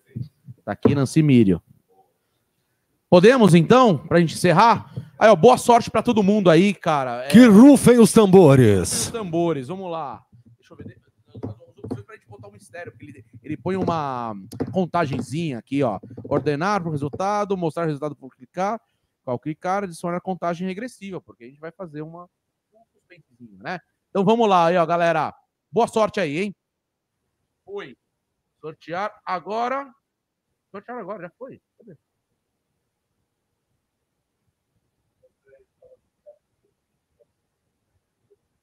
Ah, então não pode botar os dois? Então tira um, vai. Mas uma contagem regressiva só. Qual o critério de separação? Quebra por linha. Agora, vamos lá. Ué? Nunca me aconteceu isso de dar errado aqui nesse site, hein? Falhou, hein?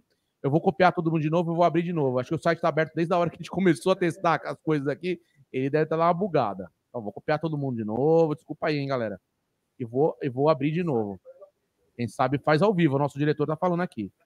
Mas a graça dos podcasts é essa, né, cara? Quem sabe faz ao vivo. Essa é, é a diferença. É, é mais humano, né?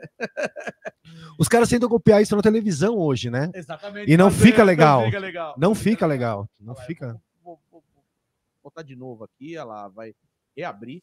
Eu nunca me aconteceu. Esse, esse site é muito bom, cara. Você tá parecendo o homem brocha. Nunca me aconteceu. nunca me aconteceu. Nunca me aconteceu antes. Ai, nunca me aconteceu antes. Nunca brochei. Ai, você é muito gostosa. Você é muito gostosa pra mim.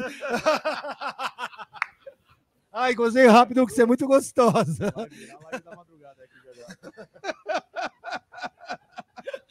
É, desculpa de macho. Ai, você é muito gostosa, nunca me aconteceu antes. Agora vai, hein? Vamos ver. Agora vai, hein? Sortear agora. Porra, mano. Agora. Ê, rapaz! Olha lá. Olha lá, contagem bonitona, hein? Bonitona. Gostei dessa contagem aí. É a IA trabalhando por você. E uma musiquinha, velho! É rock? Graziela Pila! Graziela Pila, a vencedora.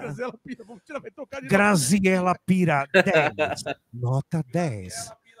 E olha só, aquele negócio de que quem mandar mais tem mais chance, ela mandou um monte de superchat, então parabéns para ela. Ô, cara, você sabe que eu adoro, eu adoro locução, né?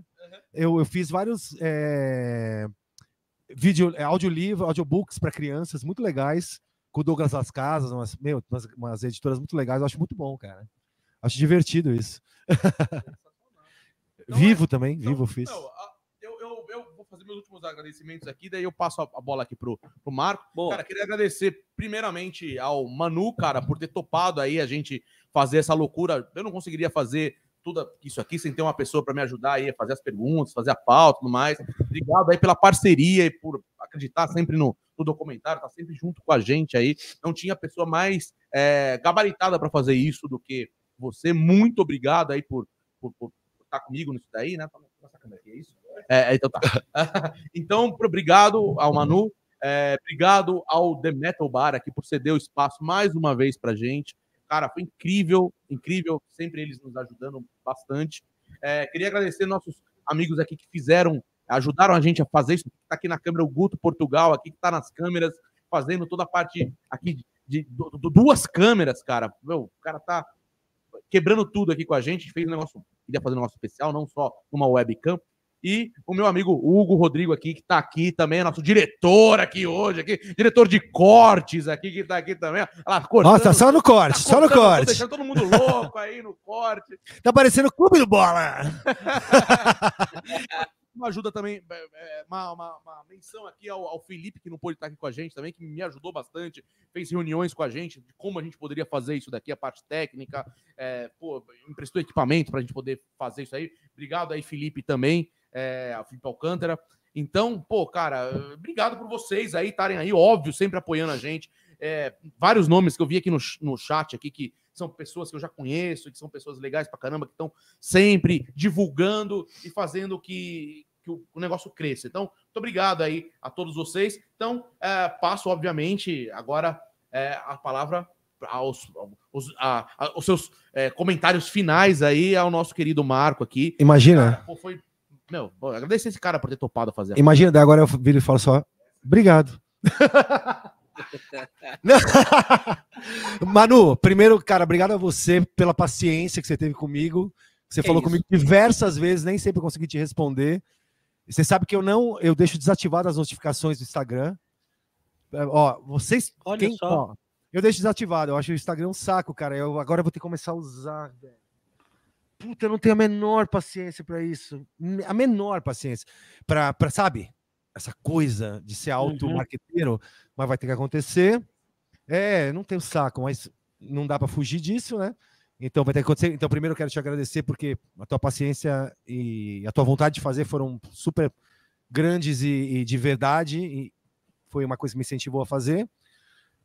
Nosso querido Belininho, companheiro de todas as baladas.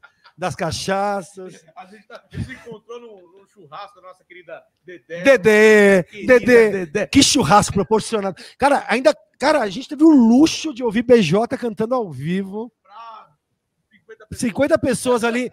Foi um clubinho, cara. Que, que privilégio, né? Privilégio. Mas... E, a, e a tia, tia Lu? A tia Lu, a melhor drinqueira, meu, das casas, da, da, da, das rolês indoor de São Paulo. Agora falando sério. Obrigado você também, viu, mano? Obrigado. Vamos se ver. Sexta a gente se vê, sei lá, sábado. Agradecer a vocês dois. Agradecer o filho. Meu, você é demais, cara. Cadê? Será que ele tá fazendo hambúrguer? Não. tô brincando. Não, tô zoando. E, fala, os caras, os caras fizeram agora uma área especial de hambúrguer que vai inaugurar lá fora, cara.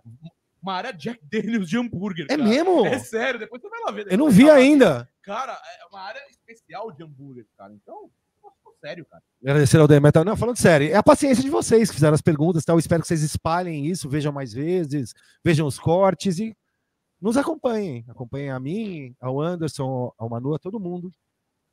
Obrigado, gente. Vamos aí, vamos fazer música, fazer arte, fazer a vida ficar mais leve, se ajudar e ir embora. Que é assim que as coisas funcionam. Ninguém sozinho faz porra nenhuma. Né? Maravilha. é isso. Pessoal, é assim a gente termina a nossa live de hoje. Está entregue, finalmente, entregamos. É, live especialíssima com o Marco Antunes. Espero que vocês tenham curtido tanto quanto eu e o Anderson curtimos fazer e quanto o Marco curtiu fazer. Se vocês Na gostaram... próxima eu faço striptease. Olha só. Olha o que ele faz. Hein? Olha só. Ele tá ah, mais... pratiquem, pratiquem esportes. Obedeçam tá a sua mãe. Não bebam como nós. Não bebam como. Passem protetor solar. E por favor, tomem a porra das vacinas. Vacina, gente! Nossa, Vacina, exatamente. Pelo amor de Deus. Pois é. É, isso é o básico, mas precisa ser dito, né? Pessoal, se vocês gostaram, se inscrevam nos canais, é, apoiem o trabalho, apoiem o trabalho do documentário, sigam o Marco nas redes sociais. E ele está mais do que convidado para voltar aqui. Espero que volte. E espero que a gente veja mais o Marco, que é um cara que tem muita história para contar, é um cara muito gente boa, muito resenha. Então, é, eu acho que o público que gosta de música e de boa música merece ter alguém como o Marco para poder admirar e para poder seguir. Espero que vocês tenham curtido. um violão para a gente fazer bagunça. Maravilha, maravilha, tá feito. Tá feito. Espero que vocês tenham curtido e aguardem as nossas próximas entrevistas aqui no Imagens, no André Matos Doc e as novidades da carreira do Marco. E é isso aí. Falou. Obrigado, gente.